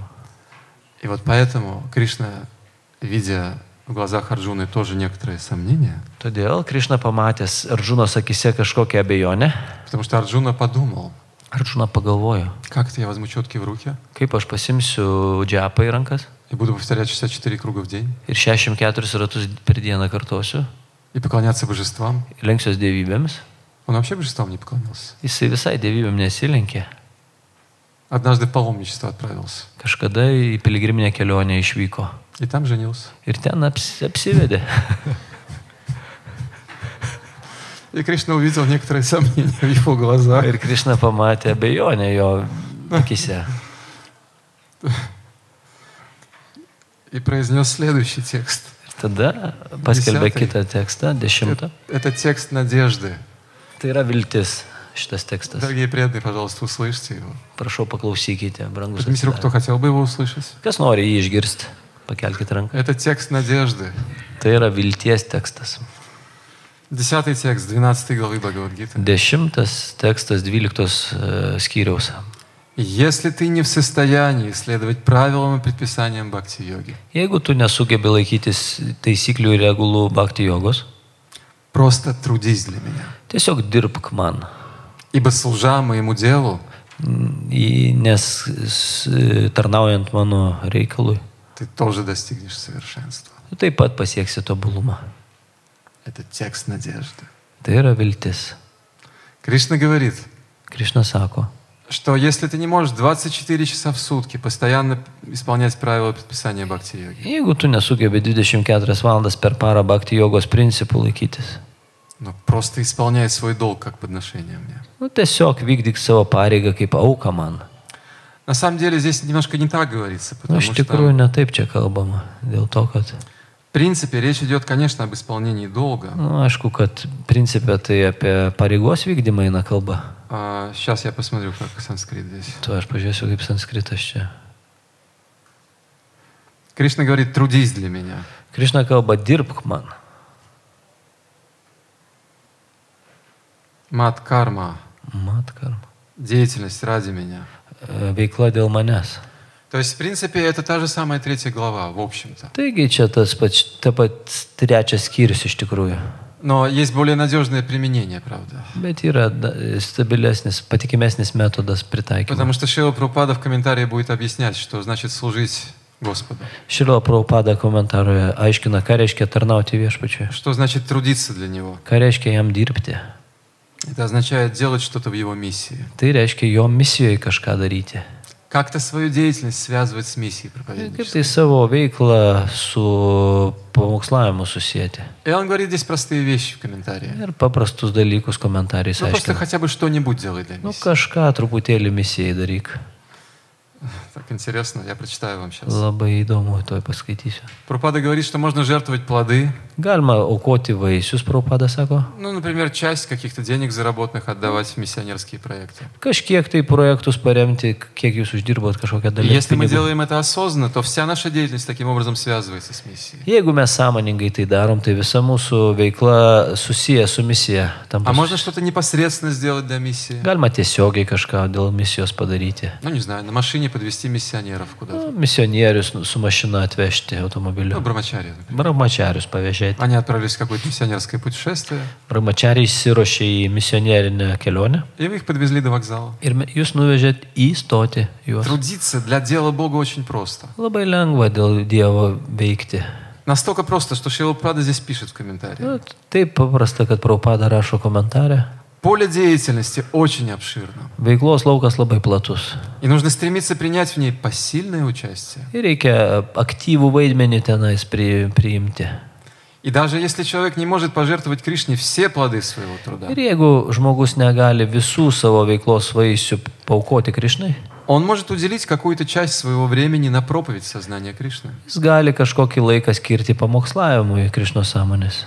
Такое добровольное служение Toks e, savanoriškas, e, способствует, da, savanoriškas Spasop- tarnystė. способствующее распространению сознания Кришны, E, Palankus e, Krišno sąmonės plėtrai поможет человеку постепенно развить в себе любовь к Богу padės žmogui įsiugdyti meilę Dievui и таким образом достичь совершенства. ir taip pasiekti tobulumą. Итак, вот из этих двух стихов, Taigi, iš šitų dviejų tekstų, 9 и 10, 9 ir 10, Кришна сконстру- сконструировал метод бхакти-йоги для нас. Sukonstravo Bhakti jogos metodą mums. Первая часть этого метода Pirmas šito metodo dalis, pirma. – это прямые процессы бхакти-йоги. Tiesioginiai jogos procesai. Поднимите руку, кто знает, что это такое. Kas žino, kas tai yra? Не все поднимают руки. Ne visi kelia rankas. Ну хорошо, что это такое? Nu, kas tai yra? Ну, а по-русски, если, Ой, и по-литовски, как угодно. ну, смысл. Lietuviškai arba rusiškai, kad esmė būtų. То есть конкретнее, это что такое? Kas konkrečiai, kas tai yra? Повторение святого имени, еще Kartojama švento vardo, Поклонение божествам, dievybių Шримад garbinimas, Šrimat Bhagavatam, Бхагаватам, общение с Вайшнавом, bendravimas su atsidavusiais, Служение духовному учителю. gurų. Это вот эти канаты, спущенные сверху. Tai yra tos virvės, kurios iš viršaus В nuleistos. них проявлена милость Бога. Ten yra malonė Dievo. Это то, что запускает двигатель преданности в нашем сердце. Tai, kas užveda variklį atsidavimo mūsų širdyje. Но вторая часть методов бхакти-йоги, метода бхакти-йоги, который Кришна дает в Бхагавадгите, Antra dalis metodo Krišna, kurį duoda Bhagavadgitoje. это работает для меня. Dirbk man. То есть обычные свои дела и обязанности делай как подношение мне. Paprastus savo darbus tiesiog daryk kaip auka man. И высшим проявлением Ir aukščiausių supratimų. такого исполнения долга, Tokių pareigos išpildymų. когда мы свою деятельность как-то связываем с миссионерскими проектами. Kai mes savo veiklą kažkaip tai susijęm su misionieriškais projektais. В той или иной степени как-то. как-то. Kažkaip tai vienokiu ir kitokiu būdu. Вот это две части метода преданного служения, которые дает Бхагаван Гит. Я думаю, методы и две. Поднимите руку, кто знает, что это за две части. Ну, кажино, кас что-то две дались. Новое объяснение. Новое спаечки немас. Слушайте, ну еще раз, кто скажет? Даркарта, кто назовет обе части? Обе дались, кас Давайте. Прошел.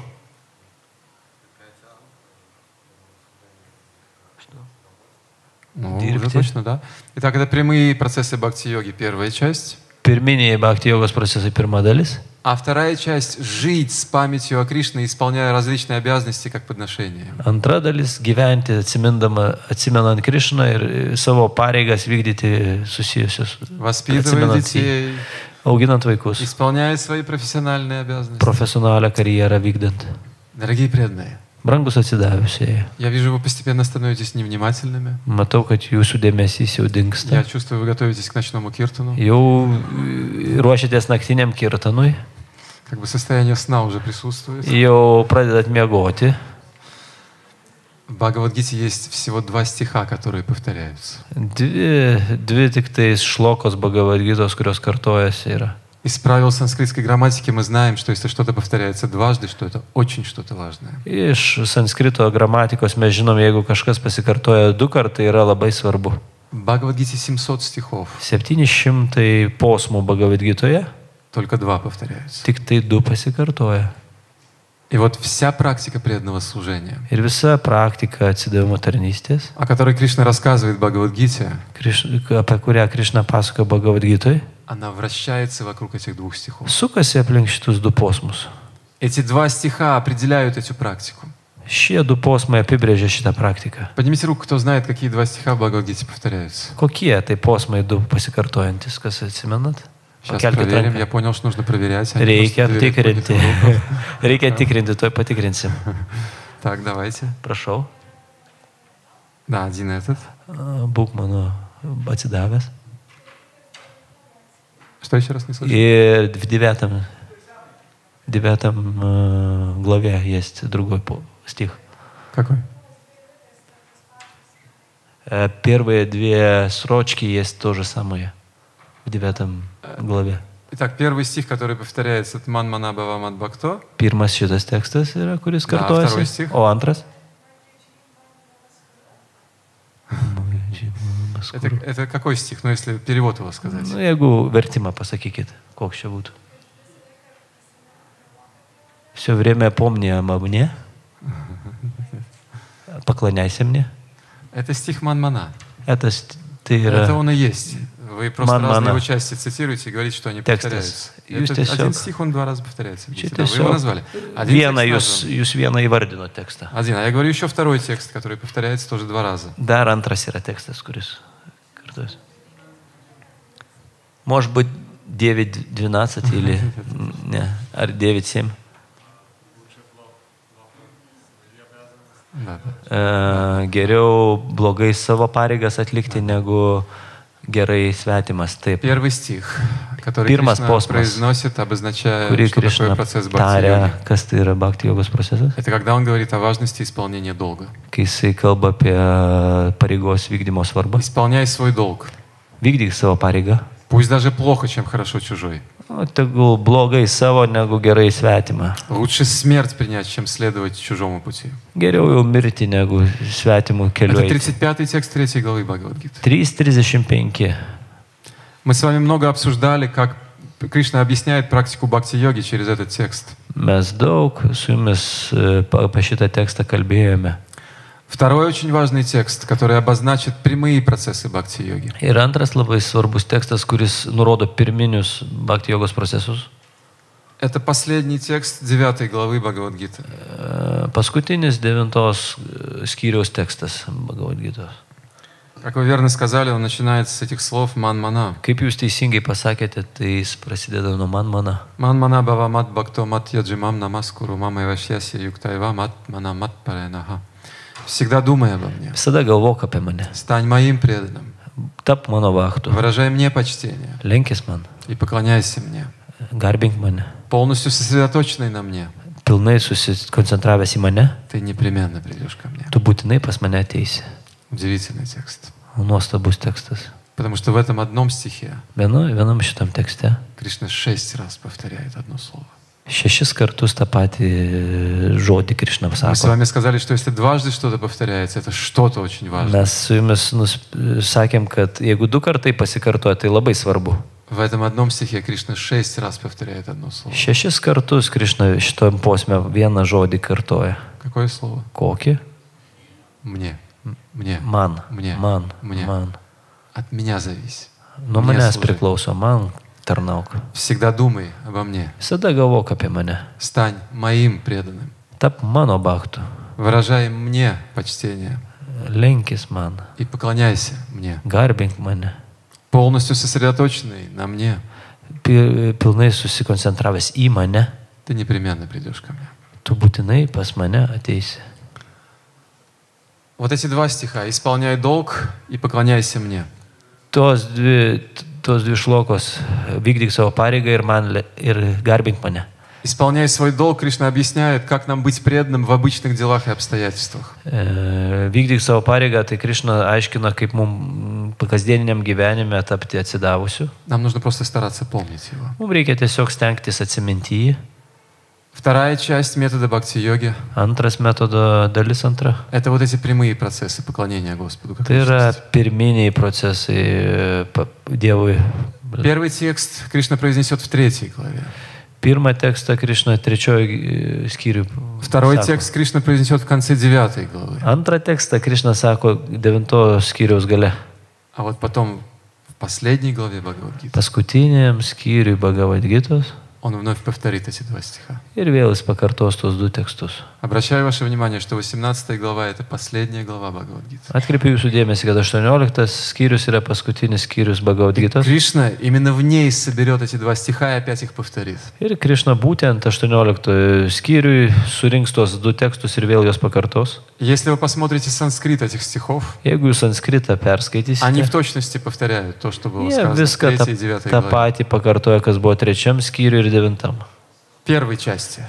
Pirmas, sky- Во второй dalis. части слова немножко меняются, но смысл абсолютно тот же самый. Antrojoje остается. daly žodžiai kažkiek skiriasi, bet prasmė ta pati lieka. Вот то, что Кришна повторяет эти два стиха, Nu, dėl to, kad Krišna kartoja tos du tekstus, он делает акцент. jis daro akcentą. Общая модель практики бхакти-йоги, которую я вам даю, Modelis bhakti jogos, kurią aš jums duodu, состоит из этих двух частей.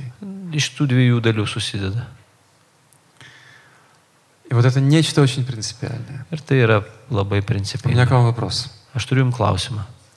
Если врач предписал нам какое-то лекарство, Jeigu gydytojas išrašė mums kažkokius tai vaistus, там говорится, нужно столько таблеток четыре раза в день принимать в такой-то последовательности. ten rašo, kad keturis kart per dieną tokias tai tabletės, tokia eilė reikia gerti.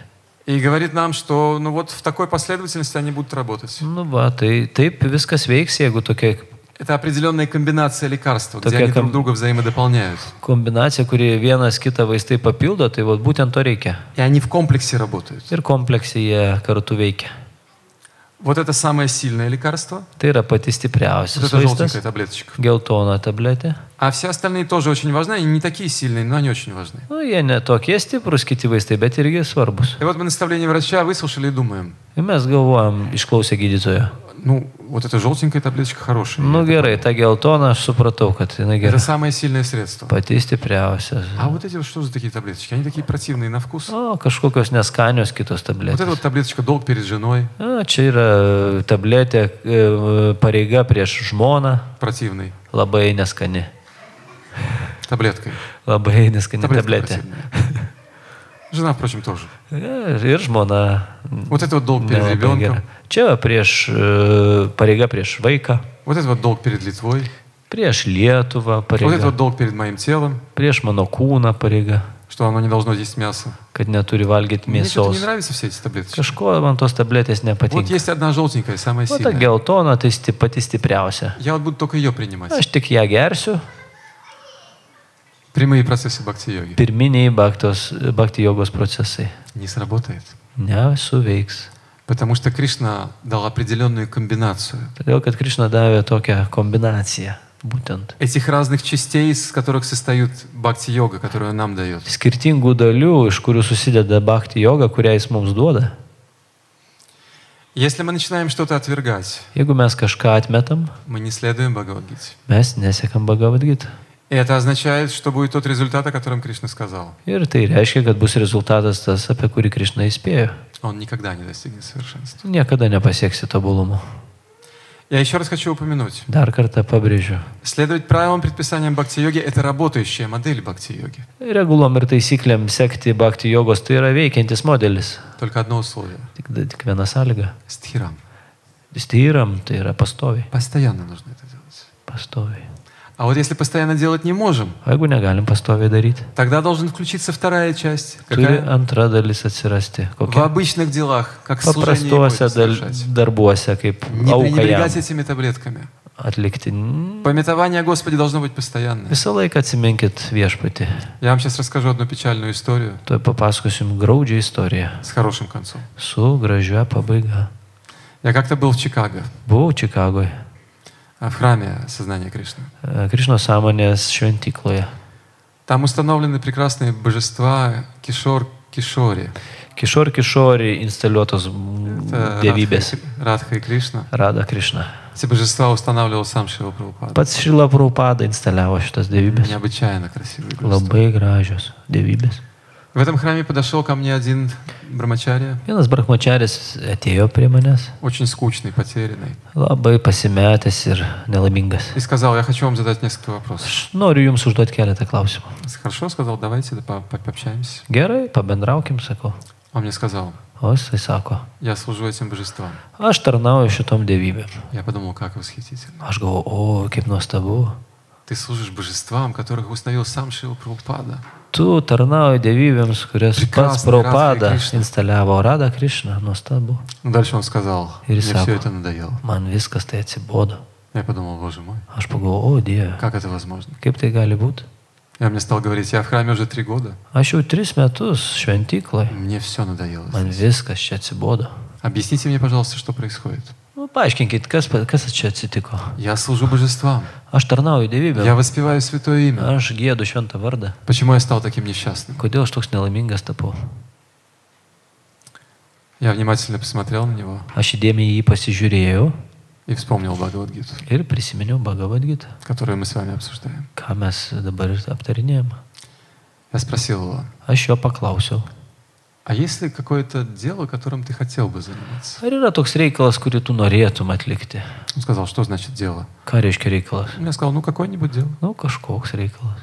Он мне сказал, O jisai при sako, чем здесь какое-то дело? o prie ko čia kažkoks tai Вы мне объясните. Jūs man paaiškinkite. Я поклоняюсь Радхе Кришне. Aš Rada Krišnai linkiu. Я воспеваю святые Garbinu. имена. Aš šventus vardus kartoju. Почему я такой несчастный? Kodėl aš toks nelaimingas? Я его спросил. Aš jo klausiu.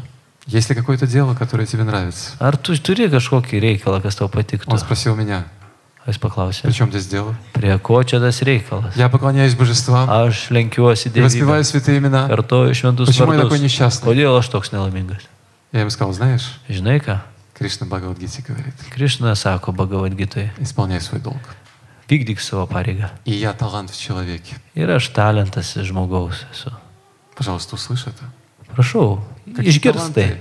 тебе дал Господь? Kokius tau davė Dievas talentus? Чем бы ты хотел заниматься? Ką tu norėtum daryti?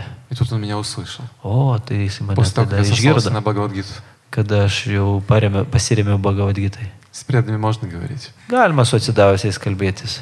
Главное на шастры опираться. A, Reikia svarbiausia šastrom remtis.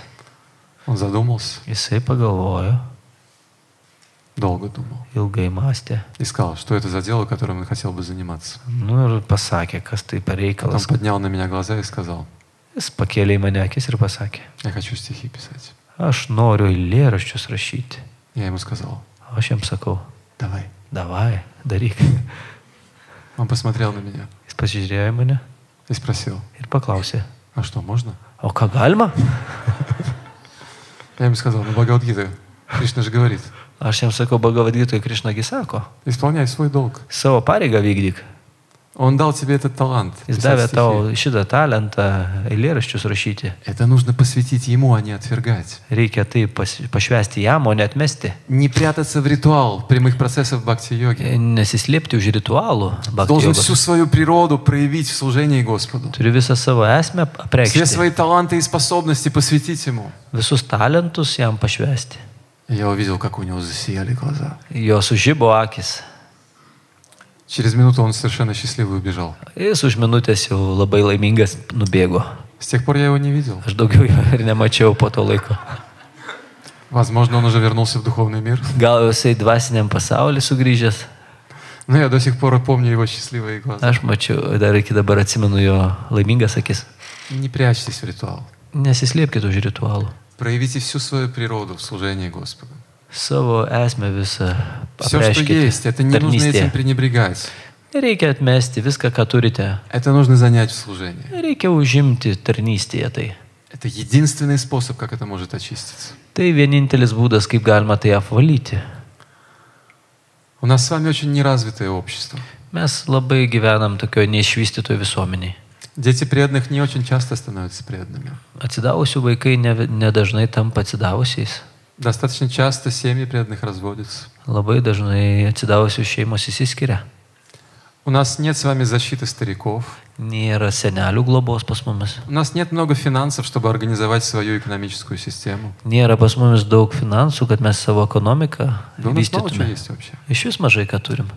У нас только Хари Кришна мантры. Tik есть. tai Hari Krishna mantrą turim. Это неплохо, неплохо. Tai ne, neblogai, neblogai. Нужно понять, что из этого всего должно родиться духовное общество. Tai reikia suprasti, kad iš viso to turi atsi- atsirasti dvasinė bendruomenė. А почему у нас общество не рождается? Kodėl mūsų visuomenė nesiranda? Потому что мы не услышали Бхагавадгиту. Todėl, kad mes neišgirdom Bhagavadgytos. Мы не поняли, Mes nepa, nesupratom, что обычная деятельность kad paprasta veikla может стать преданным служением, gali tapti atsidavimo tarnystė. если мы исполняем это в сознании Кришны. Jeigu mes tai Krišno sąmoningai Мы darom, думаем, что преданное служение — это только повторение мантры. mes galvom, kad atsidavimo tarnystė tai tik mantros Это только kartojimas. повторение божествам. Tai tik tai dievybių garbinimas. Одна преданная написала письмо Шри Прабхупаде. Viena atsidavusi Širloj Praupadai parašė laišką. А, Я поклоняюсь божествам в храме. Aš garbinu dievybės šventykloje. У меня родился ребенок, Man gimė su- vaikas. и сейчас я чувствую, как мой ребенок отвлекает меня от поклонения божествам. Aš jaučiu, kad e, vaikas mane neleidžia man garbinti dievybių. Можно я ребенка отдам в Гурукулу и сама сосредоточусь на поклонении Ar божествам? galiu aš į gurukulą atiduoti tą vaiką ir pati toliau garbinsiu dievybės? Прабхупада пишет. Praupada rašo atsakymą. Это известный его ответ. Tai žinomas atsakymas. Если твоя забота о ребенке мешает служению божествам, Jeigu tavo rūpestis vaikų trukdo dievybių garbinimui, пожалуйста, prašau, оставь служение божествам. Palik dievybių garbinimą. И заботься о своем ребенке. ir rūpinkis savo vaiku. Нам очень важно услышать эти наставления Ачари, эти наставления Кришны в Бхагавадгите. Mums ir labai svarbu suvokti šitus nurodymus И Нам ačiarijos. нужно учиться жить в сознании Кришны. Mums reikia mokytis gyventi Семейные отношения Кришна строить Самуне. в сознании Кришны. šeimos santykius kurti ši- Krišno sąmonė, Развивать экономику в сознании Кришны. ekonomiką kurti Krišno sąmonė, Заботиться о детях в сознании Кришны. rūpintis vaikais Krišno Это sąmonė. все преданное служение. Это не Visą что-то, tai что мешает преданному служению. atsidavimo tarnystė, tai ne tai, kas maišo atsidavimo Вот tarnystė. так у нас trukdo. родится настоящее общество. Tai pas mus gims iš tikrųjų tikra visuomenė. Последнее, чем я хотел бы закончить. Tai aš noriu dabar užbaigti. Кришна рассказал всю Бхагавадгиту Арджуне. Krišna viską pasakė, Bag- vis, visą Bhagavad-gitą išdėstė Arjūnai. И что же он ему говорит в самом конце? Ir pačioje pabaigoje, kągi jis jam sako. 18 глава, 18 skyrius, 66 текст. 66 tekstas. Любимый текст всех преданных. Visų atsidavusių pats mėgstamiausias tekstas. Оставь все религии. A, palik visas religijas. Религия это э, не совсем точный перевод, потому что э, на санскрите говорится сарва дарман. E, Religija tai yra ne visai tikslus e, vertimas, nes sanskritė tai yra sarva dharmam. Дарма означает обязанность. Dharma reiškia e, pareigos. Сарва означает все. Sarva reiškia То visas. есть Кришна буквально говорит, оставь все обязанности. Krišna sako, palik visas pareigas И просто предайся мне. ir tiesiog atsidok man. Я избавлю тебя от всех последствий твоих грехов. Ir aš a, iš, pasimsiu visas tavo nuodėmių pasiekmes. Не бойся ничего. Nebijok. И вот нам может показаться, Ir mums gali pasirodyti. что оказывается все эти обязанности это просто было предисловие. A, reiškia, tos visos pareigos, tai čia buvo prie, prieš, prieš istoriją. Весь этот долг какой-то непонятный. Kažkokie nesuprantamos Это pareigos. просто, это просто начало повествования Бхагавадгиты. pradžia Bhagavadgitos. Вот он самый главный O, текст. svarbiausias Нужно tekstas. все это оставить. Viską reikia palikti. Один важный момент. Labai svarbus momentas. Вопрос к вам. Jums klausimas. Арджуна чистый преданный? Arjuna tyras atsidavęs? Поднимите руку, кто считает, что чистый преданный. Kas galvoja, kad tyras atsidavęs? Еще один вопрос. Dar vienas klausimas. Как вы считаете, Арджуна понял Бхагавадгиту? Ar Arjuna suprato Bhagavad Gita? Поднимите руку, кто согла- считает, что понял Бхагавадгиту. Kas galvoja, kad pats suprato Сейчас Bhagavad еще раз Gita? уточню. Dar Поднимите patikrinsiu. руку, кто уверен, что Арджуна хорошо понял Бхагавадгиту. O kas tikras, kad iš tikrųjų jisai giliai suprato Bhagavad Gita? Не все поднимают руку. Ne visi pakelia ranką. Кто-то сомневается в Арджуне. Kažkas abejoja Arjuna? Кто против Арджуны, поднимите руку. Kas prieš Arjuna? Pakelkit ranką. Итак, Арджуна хорошо понял Бхагавадгиту. Arjuna gerai suprato Bhagavad Поднимите Gita. руку, кто согласен с этим. Kas sutinka su tuo? Вопрос к вам.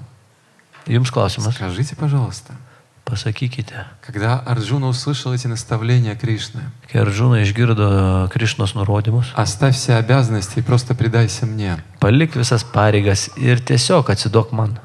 Что Арджуна стал делать? Ką Arjuna darė? Что стал Арджуна делать, услышав это? Arjuna darė? Он пошел выполнять свои обязанности. Jis pradėjo vykdyti savo pareigas. Когда Кришна говорит, Krišna sako, оставь все обязанности, palik visas pareigas, он говорит, оставь все, что не связано с преданным служением. sako, palik viską, kas nesusijęs su atsidavimo. Иначе говоря, оставь всю эту ведическую культуру в стороне. Visą vedinę kultūrą palik. А вот все, что связано с преданностью, Viskas, kas ats- susijęs su atsidavimu, išsaugok savo gyvenime. Кришна не говорит, что нужно оставить долг. Krišna nesako, kad reikia palikti Он pareigas. говорит, оставь долг, где нет сознания Кришны. Sako, palik pareigas, kur nėra Krišnos sąmonės. И вот Арджуна понял, что он хочет. Ir Adžūnas suprato, ką jis nori. Он поднял лук Jis pakėlė lanką и вступил в сражение. ir pradėjo kautis. В полном сознании Кришны. Pilnoj Krišnos sąmonė. Поняв, что Кришна хочет, чтобы он свой долг в этом мире исполнял как подношение ему, Supratęs, kad jis nu, turi atlikti savo pareigą šitam pasauliu как kaip auka служение jiems, его миссии. kaip tarnystė jo misijoje. Вот это совершенное понимание Tai Бхагавадгиты. yra tobulas Bhagavad-gitos supratimas. Мы с вами свою семью должны превратить в служение Господу. Mes su jumis turim savo šeimą paversti tarnystę viešpačiu. как? Paklausite, kaip? Кришна в третьей главе говорил, как.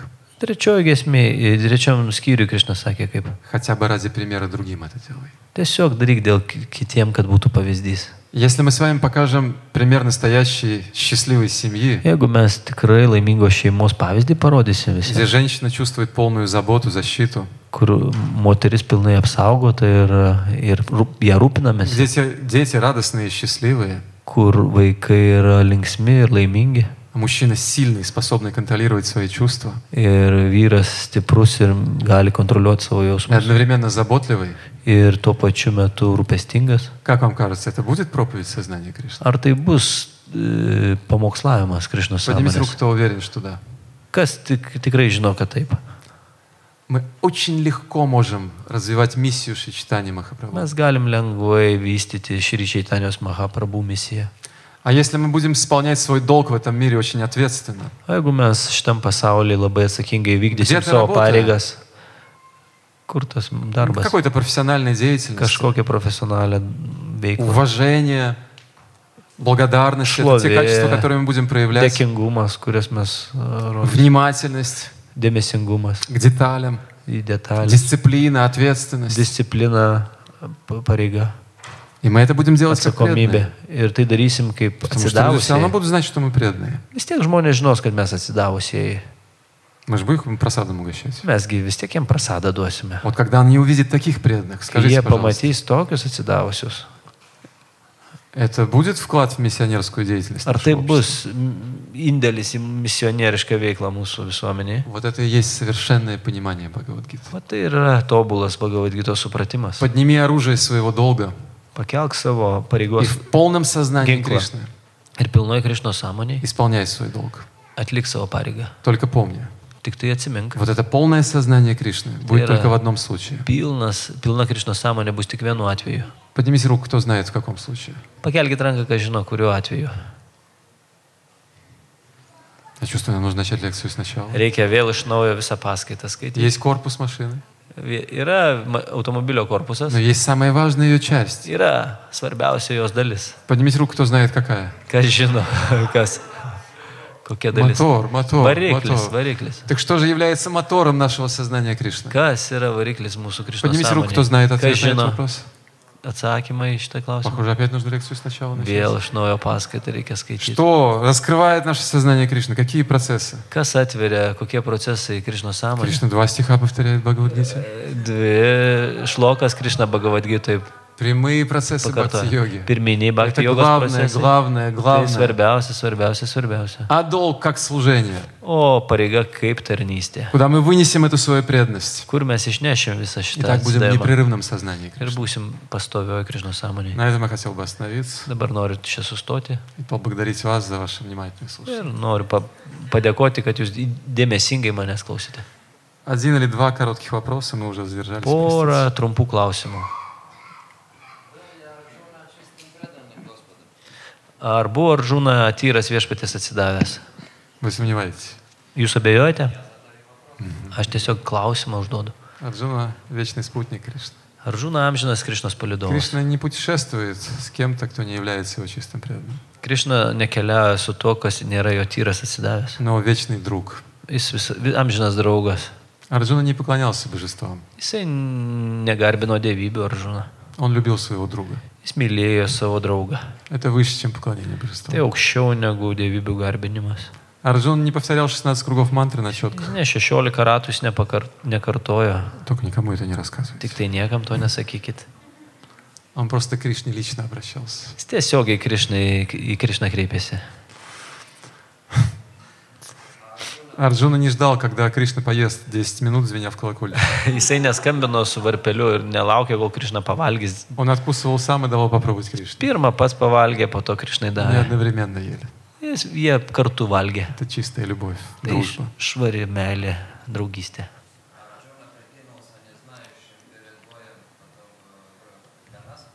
O Arjuna apsimetė nežinantis savo pareigos dėl mūsų? Арджуна не прикидывался. O jisai neapsimetinėjo.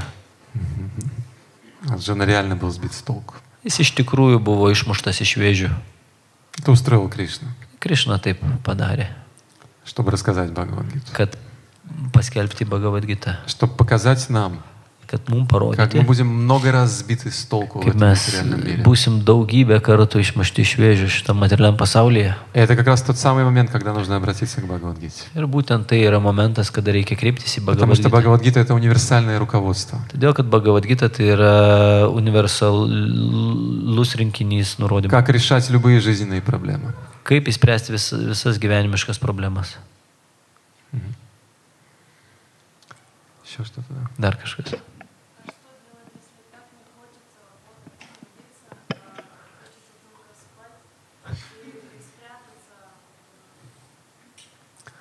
Ką daryti, jeigu taip nesinori dirbti, N- Noras tik tai mėgoti ir pasislėpti, iš kur rasti tų jėgų.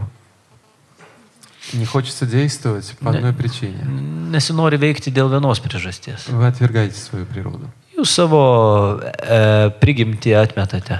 Потому что деятельность в соответствии с природой, она приносит счастье. Todėl, kad jeigu jūs veikiate su savo prigimtim, tai atneša džiaugsmą. Я почему-то опять вспоминаю этого брамачария. из Чикагского Kažkodėl храма. dar e, tą Čikagos brahmačiarį atsimenu. Вам нужно задуматься, что вы хотите. Jums reikia suvokti, ko jūs norite. И вот это начать делать для Кришны. Ir reikia tai Krišnai daryti. Кришна вам дал какие-то таланты. Davė jums kažkokius talentus Krišna. Найдите их в себе. Suraskite juos savyje Проявите. ir išreiškite. Так придет радость от деятельности. Taip a- ateis džiaugsmas. Как вам это? Kaip jums tai? Не высушивайте себя ритуалом. Ne, neužsisiklinkite ant ritualo. Наша природа, она очень радостная. Mūsų prigimtis yra labai džiaugsminga. Когда мы ее принимаем себе и начинаем проявлять. Kai mes priemam ją savo ir pradedam veikti. Мне сегодня один преданный Кришна Мангала рассказывал. Krišna Mangala man šiandien pasakojo. А, говорит, когда я писал свою первую книгу, Kai aš pirmą savo knygą rašiau, а, издательство там ждало, когда ее напишет. leidikla laukia, kol ją parašysime. А когда я ее писал, я забыл про издательство, он сказал. A, kai aš ją rašiau, aš visai apie leidiklą užmiršau. Я стал таким счастливым, Aš buvau toks laimingas. что у меня же было все равно, издадут эту книгу Na, или не man издадут. nesvarbu buvo, ar ją išspausdins ar ne. Он ее просто написал, был абсолютно счастливым. Tiesiog ją parašė ir buvo И забыл про laimingas. издательство. Ir užmiršo apie leidiklą. счастья было. Tokia, toks džiaugsmas buvo. Получает письмо из издательства. Gauna laišką iš Когда книгу нам leidyklos. пошлете? Kada l- knygą? Он говорит, я уже счастлив. Aš jau ir taip laimingas. Издательство ему в ответ пишет, а когда мы будем счастливы? O, ka, o leidykla sako, kada mes tapsim laimingi? Найдите свою деятельность, она сделает вас счастливой. Suraskite savo veiklą, jinai ta, padarys jūs laimingais. Руководство Бхагавадгиты. Tai Bhagavad Gita's nurodymai. Dar. Кем? Гонщиком? Ar aš galiu būti lenktynininkas kriš, Это dėl вопрос, Krišnos? который вы задавали уже. Jau jūs šitą klausimą klausėt. Я вам обещал рассказать одну историю о Шиле Прабхупаде. Aš jums sakiau, kad papasakosiu istoriją apie Praupadą. Слушайте. Klausykite. Однажды Шила Прабхупада встретился с очень известным гонщиком. Vieną kartą Praupada susitiko su labai žymiu Это lenktynininku. был чемпион мира. Buvo pasaulio čempionas. Он выиграл там несколько раз вот эти самые какие-то там, я не помню, как это называется. Na, Jisai kelis kart laimėjo ten tam tikras lenktynės. Разговор был следующий. Toks buvo kl- pa- pokalbis. Прабхупада спросил, Praupada paklausė. вы на таких сумасшедших скоростях ездите на машине? Jūs tokiais beprotiškais greičiais važiuojate automobiliu. Вам никогда не бывает страшно? Ar jums nebūna baisu? Гонщик спокойно посмотрел на Прабхупаду. Lenktynininkas ramiai pažiūrėjo į Praupadą Спокойно ответил, нет. ir labai ramiai pasakė ne. Прабхупада поднял глаза. Praupada pakėlė akis. Ну, я видел, у вас такие крутые виражи там бывают. Bet aš mačiau, pas juos tokie staigus posūkiai ten būna. Вот когда вы на этих виражах, когда начинает заносить, O kai jūs pradeda mėtyti ant tų posūkių, вам не бывает страшно? ar jums nebūna baisu? Гонщик спокойно посмотрел на Прабхупаду и сказал, Lenktyninkas ramiai pažiūrėjo į Praupadą ir pasakė, нет. ne. Прабхупада внимательно посмотрел на этого гонщика, Dar įdėmiai Praupada pažiūrėjo į šitą lenktyninką. сделал небольшую паузу Palaukė и truputėlį. сказал, ну я видел, Bet aš mačiau. вы же там едете все вместе. Jūs visi krūvoj ten И važiuojate. иногда ма- одна машина подрезает друг другу. Kažkas atsitrenkia viena į kitą. Это же смертельно опасно. Taigi gyvybiškai baisu, Я видел, как pavojinga. машины переворачиваются и Mačiau, вылетают kaip там куда-то. vartosi mašinos ir skrenda kažkur tai. Неужели вам никогда не бывает страшно? Negi jums nebūna niekada baisu. Гонщик внимательно посмотрел на Шиву Прабхупаду и сказал, Lenktyninkas įdėmiai pažiūrėjo į Praupadą ir sako, ну иногда чуть-чуть. nu kažkada bet truputėlį. Прабхупада сказал, Praupada pasakė, вот поэтому нужно слушать о Кришне. o dėl to reikia klausyti apie Krišną. Когда вы будете слушать о нем, вам не будет страшно. Kai jūs apie jį klausysite, tai jums nebus baisu. Неважно, чем вы занимаетесь. Nesvarbu, kuo jūs В вашей užsiemate. жизни должны быть прямые процессы бхакти-йоги, Jūsų gyvenime turi būti pirminiai а bhakti все jogos остальное procesai. посвящайте Кришне. O visą kitą pas, pa- paskirkite Krišnai. Несколько лет назад весь интернет преданных был переполнен одной новостью. Porą metų atgal visas internetas В pilnas buvo. каком-то клубе vienos появился naujienos. футболист, E, E, Kažkokiam klube pas- atsid- atsirado futbolistas, который очень много забивал голов. jis daug įvarčių muždavo. Знаете, как его звали, его имя? Kaip jo vardas Его buvo? имя был Кришна. Jo vardas buvo Krišna. И там было несколько, знаете, э, таких репортажей, где э, Ir ten buvo keletas reportažų, kur э, комментаторы футбольного матча кричат komentatoriai «Кришна!» reikia Krišna. Если вы станете знаменитым автогонщиком, Jeigu jūs tapsite žymių lenktynininkų и на вашей машине будет написано Кришна или ir jūsų mašinoje еще, buvo, būtų parašyta Krišna, ant так или иначе, вас mašinos, будут брать интервью и будут спрашивать вас, чем вы занимаетесь в свободное время. kažką vis tiek jūsų klausinės, ką jūs veiksite, veikėt lai- laisvalaikiu, И репортеры вас будут спрашивать, вам никогда не страшно? o reporteriai visų klauso, ar jums niekada На nebaisu крутых виражах? a, staigiuose posūkiuose. И вы будете говорить нет. Ir jūs sakysite, ne, Они вас будут spрашивать, а каков секрет этого? o kokia paslaptis to? А секрет, вы скажете, в том, я повторяю мантру. O pasakysite dėl to, Она kad успокаивает ум, kartoju делает меня mantrą. полностью невозмутимым. Jinai nuramina protą ir padaro Любая mane деятельность stabiliu. может быть связана с Кришной. Это принцип. Bet kokia veikla gali būti susijusi su Krišna, tai yra principas. Арджуна даже войну связал с Кришной. Aržūna netgi karą susiję su Krišna. Но очень важный момент. Labai svarbus Эта momentas. деятельность должна быть без зависти. Eta veikla turi būti be pavydo. А без зависти означает, что вы занимаетесь той деятельностью, которая свойственна вам. Be pavydo reiškia, kad jūs susiemat tą veiklą, kuri jums priskirta. Потому что ваша природа — это и есть Кришна. Todėl, kad jūsų prigimtis tai yra Вот это очень важный момент. Tai labai svarbus momentas. Занимается деятельностью по своей природе. Užsimkite veiklą savo prigimtyje. Мгм. Ну, может быть, еще несколько вопросов. Nu, dar keletas klausimų. Мгм. А, Я, у меня есть вопрос э, о щ- священных писаниях. E, Aš norėjau paklausti, jūs taip gražiai jos skaitote ir man tiesiog kilo mintis, kad dauguma atsidavusių e, turi sadanoj tą kasdienį skaitimą, bet taip sunku žvelgti tą filosofiją, tą tikrą gilį, tokį, kokį jūs išvelgiate. Ir aš tiesiog pagalvoju, ar tai laiko klausimas, ar čia kažko trūksta, kad tarkime, aš dar to neįžvelgiu, nors skaitydama kiekvieną dieną. А, Многие от- э, преданные имеют в своей садане, садане постоянное э, чтение с- э, священных писаний, но они не выглядывают это глу- глубокой такой, такого смысла в, эт- в этих писаниях. И она хотела спросить, это лишь вопрос времени или что-то другое надо делать? А, Это не вопрос времени, Tai nelaiko klausimas. а, хотя иногда вопрос времени. Nu, Kartais galbūt ir laiko klausimas. Это вопрос, следуют ли преданные священным писаниям. Kla- Klausimas tai yra, ar jie seka tais nurodymais šventraščių. Вопрос в этом. Klausimas ten tai. Потому что если мы не следуем тому, что говорит Бхагавадгита, простите, она не раскроет свои смыслы. Jeigu mes nesekam tai, ką e, rašo Bhagavadgita, jinai neatsivers mums savo prasmės. Если мы хотим понять Бхагавадгиту, Jeigu mes norim suvokti Bhagavadgitą, нужно следовать. reikia sekti ją. Потому что следование это означает, мы принимаем руководство Господа. Sekimas tai reiškia, mes e, viešpaties vadovavimą А priemame. если мы принимаем его руководство, он раскроет все тайны. Jeigu jis mums vadovaujasi, atvers mums visas paslaptis. Кришна э, в четвертой главе Бхагавадгиты Ketvirtoji gesmė Bhagavadgitos, ketvirtom A. skyriui Bhagavadgitos. произносит одну удивительную фразу Labai nuostabią frazę p- pasako. в самом конце четвертой главы.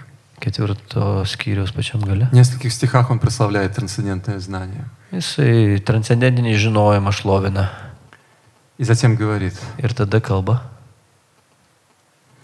38 текст 4 главы. Бхагавад-гиты. 38 tekstas ketvirto В этом skyriaus. мире нет ничего более Tiesiog чистого. neturi būti tai š- šlokos, kurias mes Шлоки atsimename. должны перейти в качество нашего характера.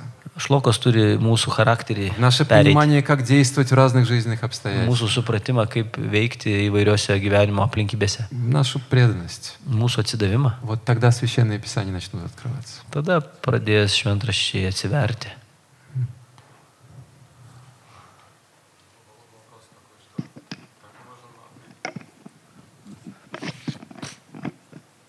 Как мы можем определить свою природу? Потому что вы на прошлой лекции сказали, что эм, если мы исполняем вот такую деятельность какую-то, которая нам нравится, мы не сразу можем чувствовать радость от этой деятельности. А наш ум может вдохновляться очень много ра- разными вещами, и, как- как казалось бы, очень много что нравится, но как определить именно Kaip, Смотrite, e, ta- a, kaip įsiaiškinti savo prigimtį, nes mūsų protas gali daugybę reik- veiklų užsi- užsiminėti ir domėtis, bet kaip įsiaiškinti, kas yra tikroji mūsų prigimtis. А Мы уже обсуждали эту тему. Mes jau šitą temą aiškinomės. Когда вы говорите о природе, вы говорите о каких-то особенных талантах, способностях, Kai jūs kalbate apie prigimtį, jūs kalbate apie talentus, какой-то įvairias- особой деятельности, которая вот лично вам предназначена. kažkokia veikla, kuri būtent jums skirta. Я думаю, скорее всего, вы имеете в виду это. Man atrodo, kad jūs t- tą turite galvoje. Taip? Это не первая ступень, Tai ne pirmas žingsnis. третья или еще выше. Trečias ar ketvirtas. Чтобы забраться до третьей ступени реализации своей природы, сначала нужно предыдущие пройти. Kad trečias e, laiptelį užlipti savo realizacijoje, reikia kitus. Первая pereiti. ступень нашей природы. Pirmas mūsų laiptelis, mūsų. Мы дети чьих-то родителей. e, Mes, mes esam kažkieno tai vaikai. Мы с вами не безродные. Mes esam ne be, be, be, be tėviai. Мы ребенок чьих-то родителей. Mes Это природа kažkieno esam наша. vaikas, tai mūsų prigimtis. Через кого-то мы пришли в этот мир. Mes per kažką atėjome į šitą pasaulį. Поэтому первая ступень в реализации нашей природы Pirmas laiptelis suvokti savo prigimtį. – это благодарность и уважение родителям. Tiesiog būti uh, pareigingam. ir Если мы не делаем gerbti эту tėvus. простую вещь, Jei mes to nedarome, вот эта связь с самим собой, с пониманием себя, она будет просто разорвана внутри. tai tiesiog tas ryšys su savim bus nutrauktas viduje. Именно поэтому Кришна в 17 главе Бхагавадгиты говорит, Todėl Krišna 17 skyriui Bagavadgytai sako, нужно поклоняться старшим, reikia vyresniems lenktis. такие как Верховный Господь, Tokie kaip aukščiausias viešpats, Вайшнавы, Браманы, vaišnavai, bramanai. А также такие старшие, как отец и мать. Ir tokie kaip tėvas ir mama. Это стих Бхагавадгиты из 17 главы. Čia yra Bagavadgytos tekstas. Сначала нужно 17. реализовать свою природу ребенка в отношениях с родителями. Pirmą reikia savo realizuoti savo Это vaiko su очень tėvais. важный момент, потому что через это приходит как бы целостность личности собирается внутренне. E, Čia labai svarbus momentas, nes per tai atsiranda pilnatvė. И с помощью этой целостного ума вы можете уже чувствовать себя. Ir dėl tos pilnatvės jūs jau galite save jausti. Это простая вещь, но она чрезвычайно важна. Na, paprastas dalykas, bet labai svarbus. Вторая ступенька в реализации своей природы, Antras она тоже очевидная и простая. a, Tai irgi labai paprastas. Обратите внимание, мы с вами или мужчина, или женщина. Mes arba vyras, arba moteris. Уже же деятельность дана в соответствии с этой Mums природой. jau duota veikla su, dėl šitos Есть prigimties. качество женщины, есть качество мужчины. Yra savybės vyro ir savybės moters. Это второй принцип реализации природы. Antras realizacijos principas. Не раскроются вот эти какие-то тонкие вещи там на уровне талантов, качеств, пока мы вот эти простые вещи не делаем. Ir neatsivers tie subtilūs dalykai kaip talentai, jeigu mes tų paprastų dalykų nedarom. Это то, с чего нужно начать реализовывать свою природу. Nuo to reikia pradėti save Она уже очевидная и данная. Jis jau akivaizdi ir duota. Это так же, как с священными писаниями. Не раскроются более тонкие вещи, пока мы самых простых правил не начинаем делать. Subtilūs l- dalykai neatsivers, kol mes paprastų dalykų nedarome. Я чувствую, нам пора уже останавливаться. Jaučiu, kad mums reikia jau sustoti. Хотел бы спросить вас в конце, что для вас важно было в этом семинаре, как просто подведение итогов. Tiesiog noriu paklausti, kas jums buvo svarbiausia šitam seminarui. Скажите свое, что у вас остается в памяти, Pasakykit, kas pas jums lieka atmintyje. что, может быть, вы примете в свою жизнь и будете делать. Gal kažką naudosite savo gyvenime, tą darysite. Пожалуйста, кто-нибудь по очереди Ну, kas через nors. микрофон. Тогда просьба, микрофон передавайте. Исполнение долга и показывать пример другим. Что означает быть в сознании Кришны. Vykdyti pareigas ir pavyzdžių būti kitiems. Спасибо. Ačiū. Это пример Арджуны. Ir žūnos pavyzdys. Спасибо еще. Dar Что? Можно микрофон, микро- микрофон, микрофон берите.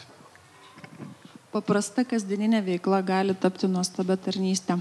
Ежедневн- Ежедневная деятельность может быть э, преданным служением. Если она исполняется в сознании Кришны. Jeigu jinai su Krišno sąmonė atliekama. Taip. Я один вам пример короткий приведу. Знаете, кто первым услышал Бхагавадгиту? Kas pirmas Bhagavad-gita išgirdo, žinote? Кому Кришна первым рассказал Бхагавадгиту? В этой вселенной. Krišna pirmam, kam pasakė Bog Bhagavad. Солнца, Vivasvana. Vivasvanui, Saulės Dievui. И что же он начал делать, поняв Бхагавадгиту? Ir ką jis pradėjo daryti, supratęs До Bhagavad сих пор занимается социальной деятельностью в этой вселенной. Ir dabar socialinė veikla iki šiol šitoje visuotoje užsiema. Точно как, так же, как Арджуна, который понял Бхагавадгиту, стал исполнять свой долг. Бхагавадгита призывает нас исполнять свой долг, но в сознании Кришны. vykdyti. Это ее руководство. Без этого нам трудно будет очиститься. Большинству из нас. reikia mums apsivalyti vykdant pareigą Krišno sąmonė. Спасибо. Что еще? Ačiū, kas dar?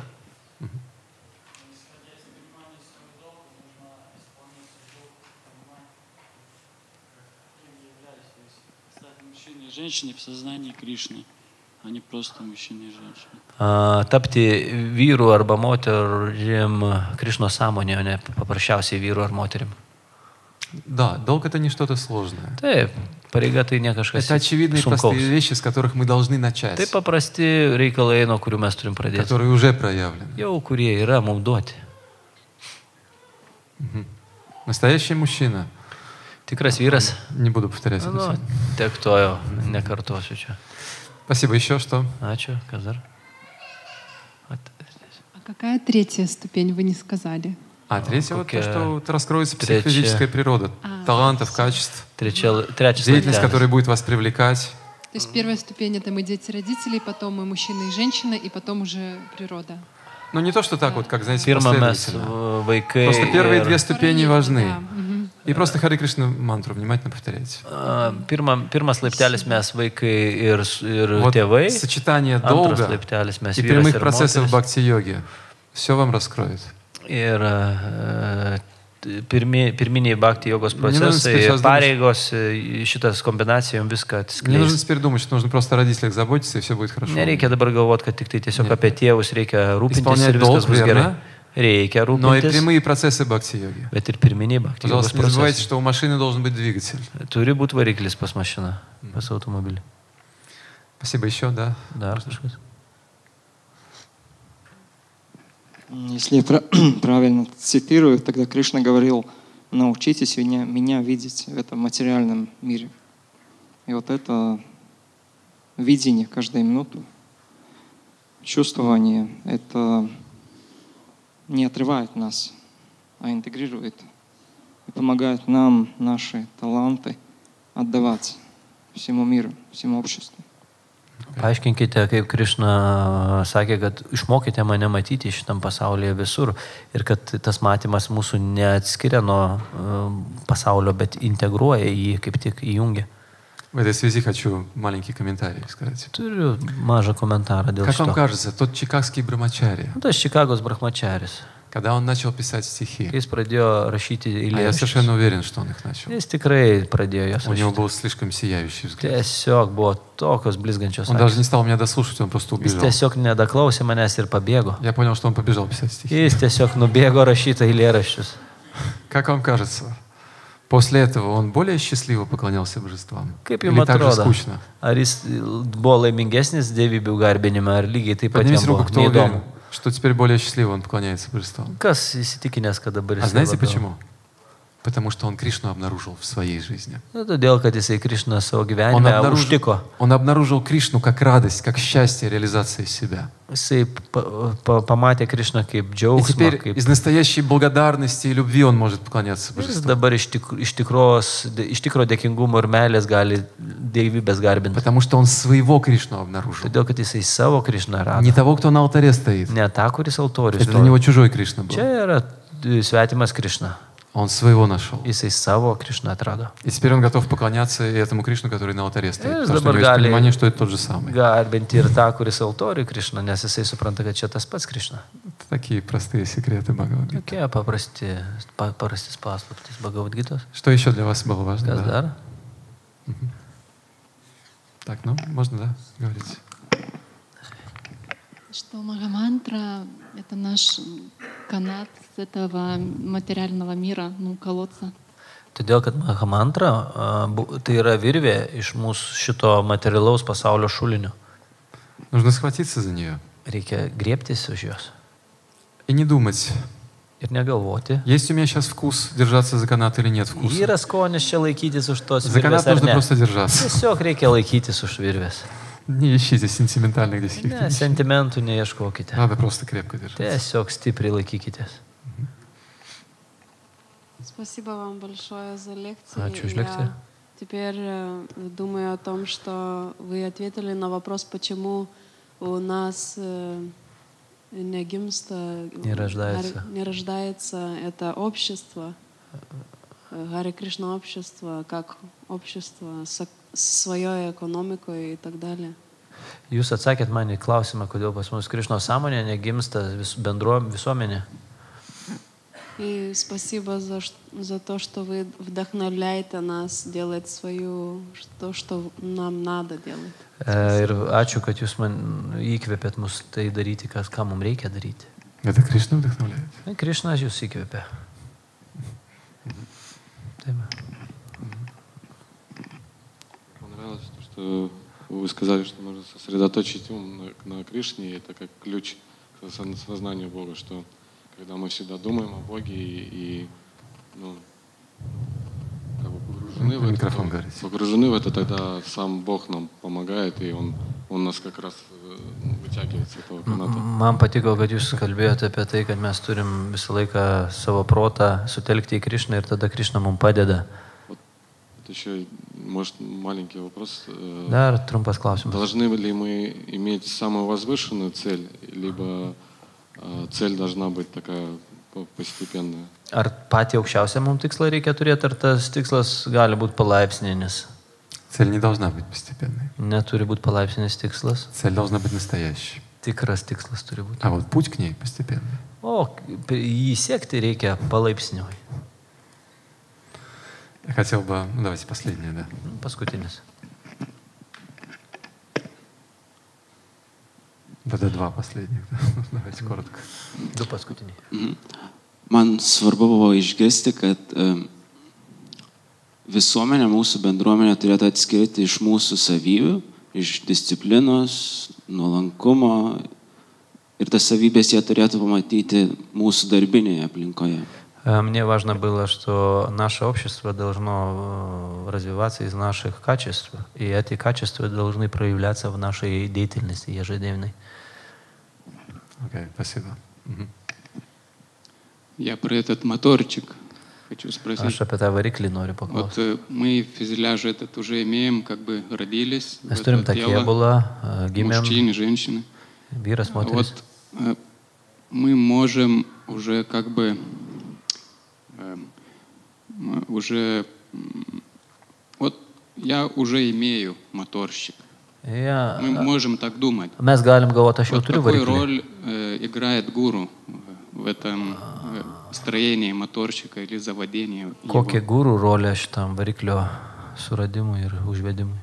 Гуру это часть моторчика. Gūrų tai yra dalis variklio.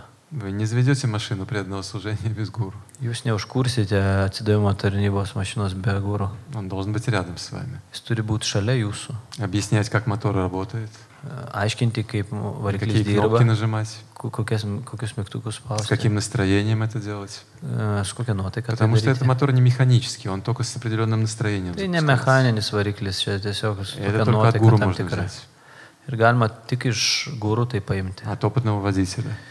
iš patyrusio e, vairuotojo. Так мы не запустим мотор. Na, Mes Это kitaip важная žinutė. neužkursim variklio. Спасибо. Я хотел Ačiū. бы сказать коротко, что у нас есть школа для преданных. Kad Возможно, вы знаете это. mokykla atsidavusių. Galbūt Jūs tai žinot. Она называется «Школа лидерства и сотрудничества». E, Vadinasi lyderystės ir sąjungos mokykla. Там четыре ступени обучения.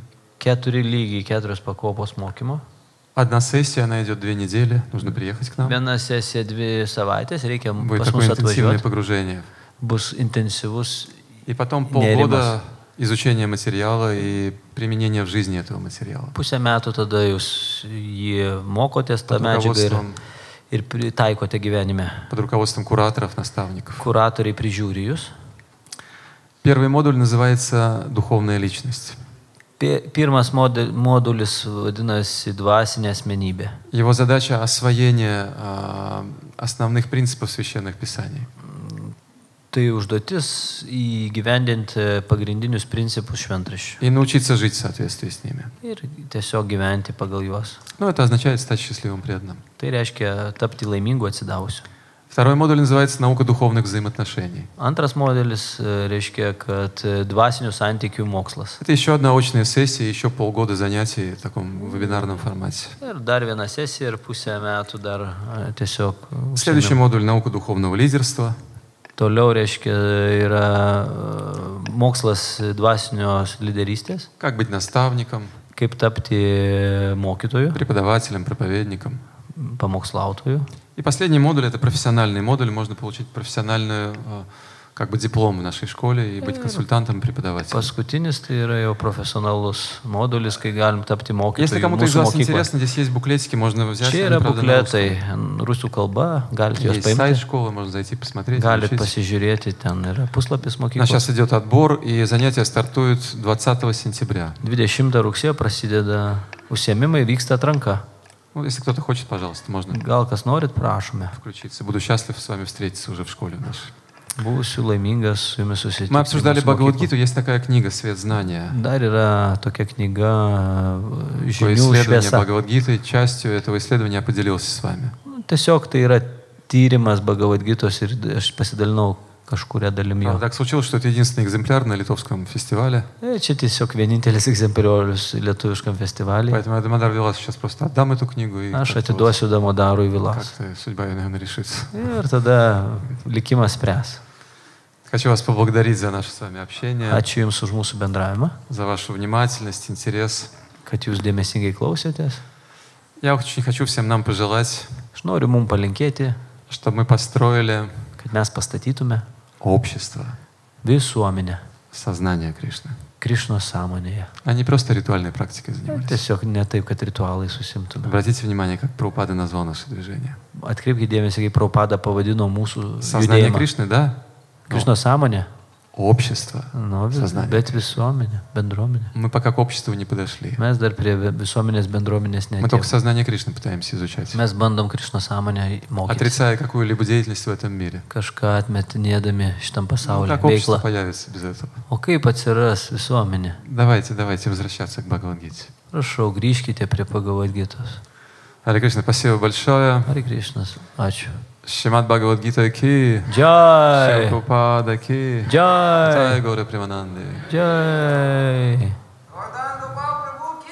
Jai.